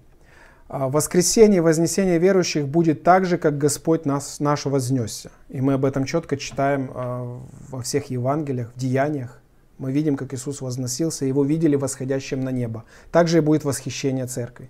Люди будут подниматься на небо, медленно, плавно, не спеша. Как и Иисус возносился на небо. Я думаю, механизм будет точно такой же. Если Дух Святой, там написано, который воскресил из мертвых Христа, живет в вас, если Он живет в вас, этот Дух Святой, то Он и нас воскресит и вознесет таким же образом, как написано, как Иисуса Христа. Вот вам механизм. Один берется, другой оставляется. Еще один вопрос человека, который не верит, что Бог мог стать человеком, он не верит в божественность Христа, он не, может, он не верит, что Бог стал, э, может стать человеком или воскреснуть. Скорее всего, мусульманин, я так думаю я не знаю его имени, но он знает, если смотрит меня, у которых всегда, вот у мусульман или там, у них всегда нападки на божественность Иисуса Христа. Дьявол всегда бьет в божественность. Вы обратите внимание, дьявол не бьет там во что-то другое, именно в божественность Иисуса Христа бьет, потому что это основа христианской веры. А основа спасения человека вообще, божественность Иисуса Христа. Потому что Иисус, если не Бог, тогда что? Человек, просто человек – Тогда христианство получается, э, сколько там, миллиард человек на земле в обольщении.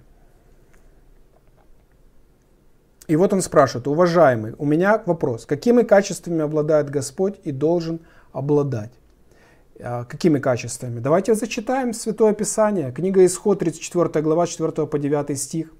«И вытесал Моисей две скрижали каменные, подобные прежним, встал рано поутру, взошел на гору Синай, как повелел ему Господь, взял в руки две каменные скрижали, и сошел Господь в облаке, и остановился там близ него, и провозгласил имя Иеговы.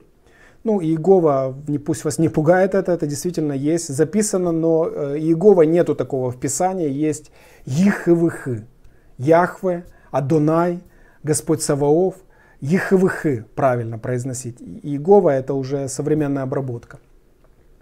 И прошел Господь перед лицом его и возгласил Господь Бог, Господь Бог возгласил, Бог человеколюбивый, какой э, Господь у нас? Человеколюбивый, милосердный, долготерпеливый, многомилостивый и истинный. Хотите знать характер Бога? Прочитайте, пожалуйста, книгу Исход, 34 глава, 6 стих. Это характер нашего Бога. Человеколюбивый, он как был в Ветхом Завете человеколюбивый, так он и в Новом Завете человеколюбивый. И не, не лгите на Бога и не унижайте его. Потому что говорят, Бог кровожадный в Ветхом Завете, а в Новом Завете он любящий. Или некоторые еще доходят до маразма, говорят, это разные боги. Вот в Ветхом Завете это дьявол, а в Новом Завете это уже настоящий Бог. Это все ложь. Как он был в Ветхом Завете, так он и в Новом Завете. Бог не меняется. Да, у Бога свои законы, свои правила, свои требования, свои ожидания от человека. Он по-разному э, показывается и открывается, но он не меняется. Бог не может изменяться, он не человек. И вот вам написано, какой Бог. Человеколюбивый. Бог любит людей, ненавидит грех. Милосердный. То есть милует, он любит миловать человека. Долготерпеливый долготерпит твой грех, ждет, ждет, когда ты раскаешься наконец-то, чтобы ты в ад не пошел, потому что Бог знает, если ты сегодня умрешь, пойдешь в ад. Он ждет тебя, все надеется, что ты покаешься, а ты не каешься. Сколько можно ждать? Бог долготерпеливый, Он ждет, ждет, ждет, но всему же есть свой конец. И долготерпению Божьему тоже скоро придет конец, и придет гнев Божий на землю. Долготерпеливый, вот характер Бога, многомилостивый, многомилостивый, не просто милостивый, а много, много милостивый. И истинный. истинный. Сей есть истинный Бог и жизнь вечная. Истинный Бог послал Сына Своего Иисуса Христа в этот мир для спасения человечества. Вот этот Бог, триединый, Отец, Сын и Дух Святой. Вот это единый Бог, как одна семья из трех человек – как один кленовый лист из трех граней, как состояние воды, огонь, ой, вернее, лед, вода и пар. Понимаете? Вот такой же и Бог, три личности, Отец, Сын и Дух Святой. Вот Он такой всегда был. Сохраняющий милость тысячи родов, прощающий вину и преступление и грех. Любит прощать, миловать, но не оставляющий без наказания. То есть он справедливый. То многие говорят, Бог любит человека, Бог не отправит человека грешника в ад. Он же любит его. Но он же справедливый, об этом тоже нельзя забывать. И наказывает вину отцов в детях до третьего, четвертого рода.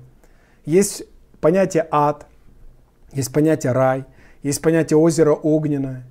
Понимаете? Есть вечно, вечность. Впереди нас ждет вечность. А на земле жизнь так коротка и хрупка, и зыбка. Моисей тот час пал на землю и поклонился Богу и сказал, «Если я приобрел благоволение в очах твоих, владыка, то да пойдет владыка посреди нас, ибо народ сей жестоковыен. Прости беззакония наши и грехи наши, и сделай нас наследием Твоим». В Новом Завете мы читаем слова самого Иисуса Христа, будьте внимательны, внимательны, друзья мусульмане. А то мусульмане хитрые. Они берут, цитируют мне Библию, доказывая свое. А когда я им говорю о божественности Христа, его смерти, его воскресении, то они мне говорят, Библия переписана и не истинная. Так вы же мне цитируете Библию и говорите, вот в Библии написано. А потом, когда я вам говорю о божественности Иисуса Христа, вы говорите, Библия переписана и не истина. Как змеи изворачиваются. Так вы разберитесь между собой, Библия это Слово Божье, это истина или ложь? Если это ложь, то что же вы мне ее цитируете? Иначе будете краснеть потом перед Богом, в своих грехах оправдываться то, как вы противились Богу. Потому что тот, кто идет против Сына Божьего, идет против самого истинного Бога. Иисус сказал, видящий Сына, видел кого? Отца. Верующий в Сына верит в кого? В Отца. Аминь. Так что будьте осторожны, чтобы не оказаться Божьими врагами и противниками на суде Божьем когда придет его гнев. Предостережен, значит вооружен. Никто не восходил на небо, как только шедший с небес Сын Человеческий. Слова Иисуса Христа. Сущий на небесах. Слышите? Сущий на небесах. Иисус молится к Отцу, Отец сущий на небесах, а тут Сын Человеческий, сущий на небесах. И как Моисей вознес змею в пустыню, так должно вознесено быть Сыну Человеческому, Иисус сравнивает себя со змеей в пустыне. Как раньше люди смотрели на шест змеи и исцелялись от укусов змей, так и сейчас люди исцеляются благодаря тому, что они смотрят на крест Иисуса Христа. Бог исцеляет и прощает их грехи. Вот аллегория, вот иносказание, вот образная речь показывается четко и ясно. Дабы всякий верующий в Него что? Не погиб. Следовательно, тот, кто не верует, что? Погибнет. Дабы всякий верующий в Него не погиб, но имел жизнь вечную. Тот, кто не верит в Него, тот погибнет. Тот, кто не верит в Него, не будет иметь жизни вечной. Мотайте на ус. Ибо так возлюбил Бог мир. Как? Он что там на облачке нам кричит? Я люблю вас, люди! Эй, слышите меня, как я вас люблю? Нет, он доказал свою любовь. Он стал человеком и умирал за грехи наши. Он доказывает свою любовь к человечеству. А как ты доказываешь свою любовь к Богу? Тем, что плюешь на Иисуса Христа, унижаешь Его? Божественность. Я тебя предупредил, друг. Будь осторожен, с этим не шутят. То, как ты относишься к Иисусу Христу, показывает, как ты относишься к самому Богу. Потому что Иисус Христос сказал, верующий в Меня верит в Отца. Аминь.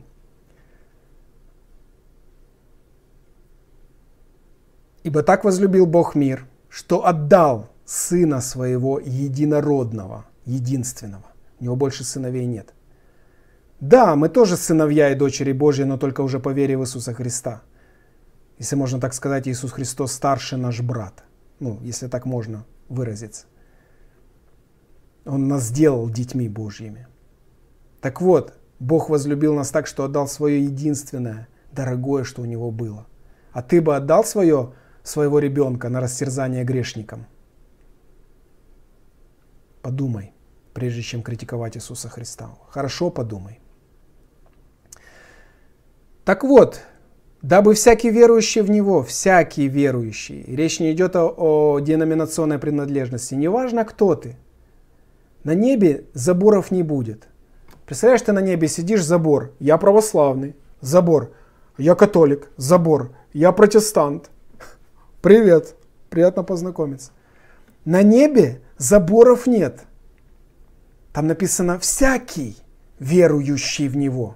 Там же не написано «всякий, кто поверил, ходит в православную церковь». Или кто ходит в католическую церковь, или кто ходит в протестантскую церковь. Там написано «всякий верующий в Него не погиб». Согласись, если католик, протестант и э, православные попадут вместе в тюрьму за имя Иисуса Христа. К примеру, приведем себе, себе такую гипотетическую ситуацию. Они что, будут там в тюрьме друг другу доказывать, кто прав, а кто виноват? Или объединятся вокруг Христа и вместе будут молиться? Чтобы Бог помиловал их и помиловал их гонителей. Понимаете? Понимаете, друзья, о чем я говорю? Так вот, всякий верующий в Него не погиб. Ты, если ты веришь в Иисуса Христа, ты не погибнешь. Если ты не веруешь в Него, погибнешь.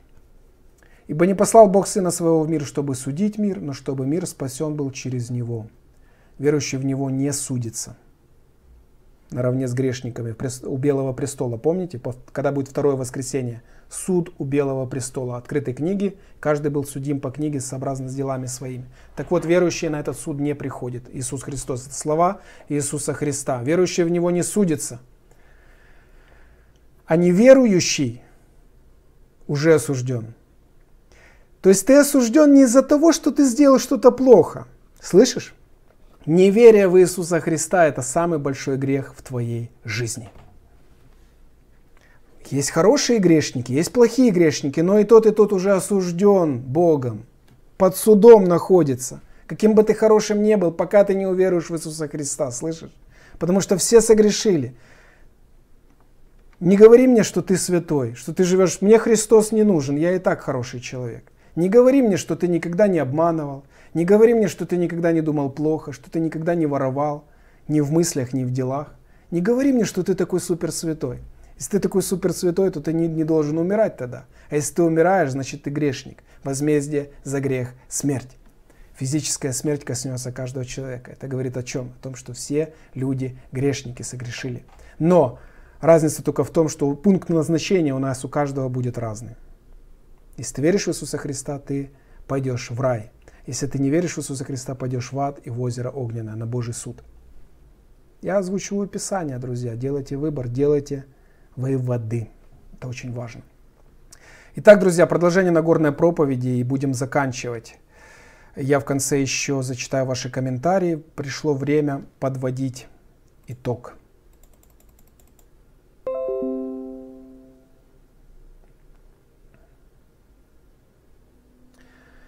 Опять потерялась связь. Сегодня что-то у нас такое странное происходит. Не знаю, с чем это связано. Но думаю, что связь восстановилась и восстановится. А, так, друзья, не творите милостыни перед людьми. Пусть творите это только перед Богом и перед сами перед собой. Тогда все у вас будет хорошо. Когда молишься, не будь как лицемер, не молись на показ. Ну, что такое на показ? Где-то я, я сейчас на показ молюсь перед вами, да? По большому счету, если так вот э, буквально все воспринимать. Молиться нужно осторожно, потому что Бог, э, стоять перед Богом. Для, как ты молишься? Молишься ты с какой целью? Чтобы показать людям, какой ты хороший молитвенник? Смотрите, как хорошо я молюсь. Или ты молишься за людей, переживаешь за них. Потому что Иисус тоже публично молился. Первосвященническая молитва, Евангелие от Иоанна, 17 глава, по-моему, если я не ошибаюсь. Понимаете, он тоже публично молился. Поэтому, друзья, когда ты молишься, не будь как лицемер, там написано. Они останавливаются и показывают людям. Великий молитвенник. Это лицемерие называется. Так делать не надо. Они уже получают награду свою. Какой молодец, как он хорошо молится. Понимаете, друзья? Так что не ищите славы от людей, ищите славы от бессмертного, единого, святого, непорочного. Значит, э, совет какой? Шестой стих. Когда ты молишься, войди в комнату твою перед Богом. Пусть это будет в тайне. Отец твой, видящий тайное, воздаст тебе явно. Скажи, Господи, я нуждаюсь в тебе. Помилуй меня, прости меня. Или там, мне не хватает на хлеб, дай мне денежку. Или там, ну, что угодно. Бог видит твою нужду, и Он отвечает. Там написано, что Бог знает вашу просьбу еще прежде вашего прошения. Бог всезнающий, или Бог не знает, в какой вы ситуации. Конечно, знает. И придет время, и Он даст вам помощь. Не говорите лишнего, седьмой стих. Не говорите лишнего. Говорите по существу. Лучше короткая молитва, но глубокая молитва. Слышите? Иногда есть времена, когда нужно и час, и два побыть в Божьем присутствии, поклоняться, э, ну, в закрытой комнате, я имею в виду, молиться, петь Господу, пребывать в Божьем присутствии. Есть даже молитвенные встречи, поклонения и так далее. Это прекрасно. Но когда ты молишься, потому что многие думают, что чем больше я буду говорить, тем быстрее моя молитва будет услышана. Нет, ну что думаете, Бог глупый? Написано, что Бог знает, вашу нужду прежде вашего прошения у Него. Не нужно повторяться. Не нужно повторяться. Сказал раз, все, Бог не глухой. Бог знает наши мысли и читает наши мысли. Еще прежде чем на языке оно появится, Бог знает уже, о чем мы скажем. И от вечности знал об этом. Понимаете? J1 Samsung спрашивает, Дима, как отец себя чувствует? Спасибо, а, чувствует себя отец отлично. А, прекрасно, сейчас у него даже есть работа. Работая завалили, он там переводит тексты. Он у меня английский тоже знает. вот, поэтому он прекрасно себя чувствует, даже будучи на пенсии, ему уже 72 года после операционный период, но он сейчас прекрасно себя чувствует, так что слава богу, жив, здоров и работает, и все хорошо. Друзья, что, будем заканчивать потихонечку. Почитайте дома еще а, вот эти все моменты. А по поводу прощения дальше Иисус Христос учит, что нужно прощать людям так, как и Бог простил нас. Если мы не прощаем, то и Бог нам не простит нам согрешение. Дальше а Он говорит, что не собирайте себе сокровища на земле, и так далее, потому что на земле воры подкапывают, крадут. Пусть ваше сердце будет там, а не здесь. Вот по таким принципам надо, надо жить. А, не ищите, что нам пить и что нам есть. Господь знает нашу нужду, и 30 стих, и заботится о нас. Просите и дано будет вам. Это уже седьмая глава. А, не судите, не судимы будете. А, значит, просите и дано будет вам.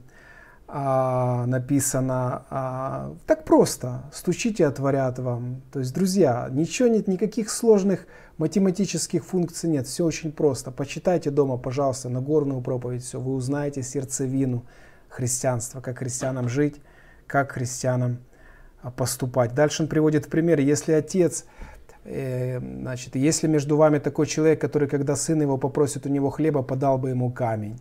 Ну, такой, это даже где-то с юмором Иисус говорит. Когда попросит рыбы, подал бы ему змею. Понимаете? Итак, если вы, будучи злы, умеете даяния благие давать детям вашим, будучи злы, то тем более Отец ваш Небесный даст благо просящим у Него. Так что не стесняйтесь просить у Бога по вашей нужде. Бог нам дает гораздо больше, даже о чем мы думаем или о чем помышляем. Входите тесными вратами, потому что широки врата в погибель. Видите, дальше Иисус говорит и так далее. Всякое дерево познается по плодам. Берегитесь лжепророков и так далее. И дальше в конце он подытоживает, говорят, кто слушает мои слова и исполняет их, тот муж благоразумный, который построил дом свой на камне. Пошли реки, подули ветры, устремились на дом твой, и дом устоял, потому что на камень. Помните сказку? Ниф-ниф, нуф-нуф, наф-наф. Сказку про трех поросят. Вот она основана на Писании.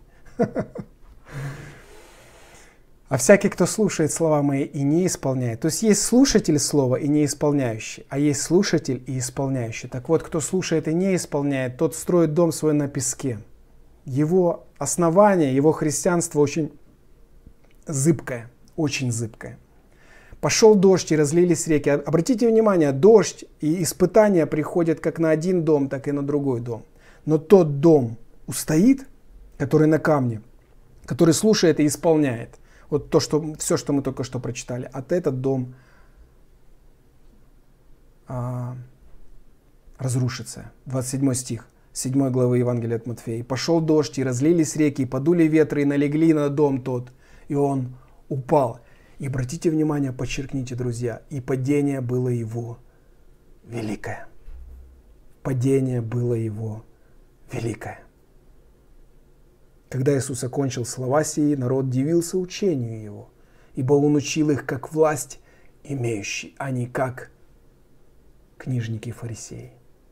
Народ чувствовал, чувствовал разницу. Вроде и те Слово Божие учат, и этот Слово Божие учат, но они ощущали разницу ощущали разницу, где Дух Божий присутствует, а где Духа Божьего нет, где лицемерие, а где истина. Ну что, друзья, будем заканчивать. Спасибо, что вы пришли на встречу. Хочу сказать вам, что я запланирую следующий наш эфир через месяц ровно. А, большая, очень серьезная тема, которая нужно будет подготовиться, и вам тоже продумать, и мне тоже много чего продумать. И, насколько известно, в середине июня будет открыт э, сделка века Трампа «Мирный договор». А, и я, у меня есть побуждение поговорить еще раз, мы уже когда-то говорили об этом, но сейчас в прямом эфире более подробно а, поговорим, э, тему я свою так назвал. Мы встретимся, друзья, где-то себе зафиксируйте, 14 июня – пятницу 2019 года, в этом году еще, 14 июня, вот уже прошло и 6 месяцев, уже лето на носу. У нас будет перерыв, но мы не прощаемся, мы на Фейсбуке, подписывайтесь в группу. Мы постоянно в комментариях, я выпускаю видео, ну я не знаю, в неделю, наверное, 2-3 видео точно выходит. Приближение великой скорби. Приближение великой скорби. Это следующая наша тема, очень большая будет, очень интересная, так что приходите, друзей, приводите. А о чем будет тема эта? Мы поразмышляем о том, к чему готовиться в ближайшем будущем. Чего ожидать ближайш... от ближайшего будущего, да, и как пережить великую скорбь, если мы ее до нее доживем. так случится, что мы застанем это время. Вот как ее пережить. Вот такие вот вопросы покроем, подумаем, и вы подумайте, может у вас будут какие-то идеи интересные, будет интересно. Так что 14 июня 2019 года, пятница, приближение великой скорби. Большая тема, где мы будем много говорить о великой скорби, о приближении, что такое великая скорбь, как ее пережить. То, что христиане а, будут проходить ее, и евреи, это 100%, можете не сомневаться, это все по описанию. Спасибо вам, друзья. Спасибо вам. Пусть вас Бог благословит за то, что вы пришли на наш эфир. Э, наш эфир уже сколько? 2.48. Ну, как правило, в такое время у нас и происходит эфир. Э, учитывая то, что еще плюс-минус там 15 минут вступления. Так что, друзья, пусть вас Господь благословит. Держитесь Христа, держитесь Его здравого учения, пребывайте с Господом. И а не отступайте от Него никогда и никогда не пожалеете. Господь вам приготовит венец жизни вечности. Ну, на сегодня все. Подписывайтесь, ставьте лайки. До следующей встречи. Люблю вас всех, обнимаю. Пусть вас Господь благословит и держит крепко в своих руках. До следующей встречи. Пока.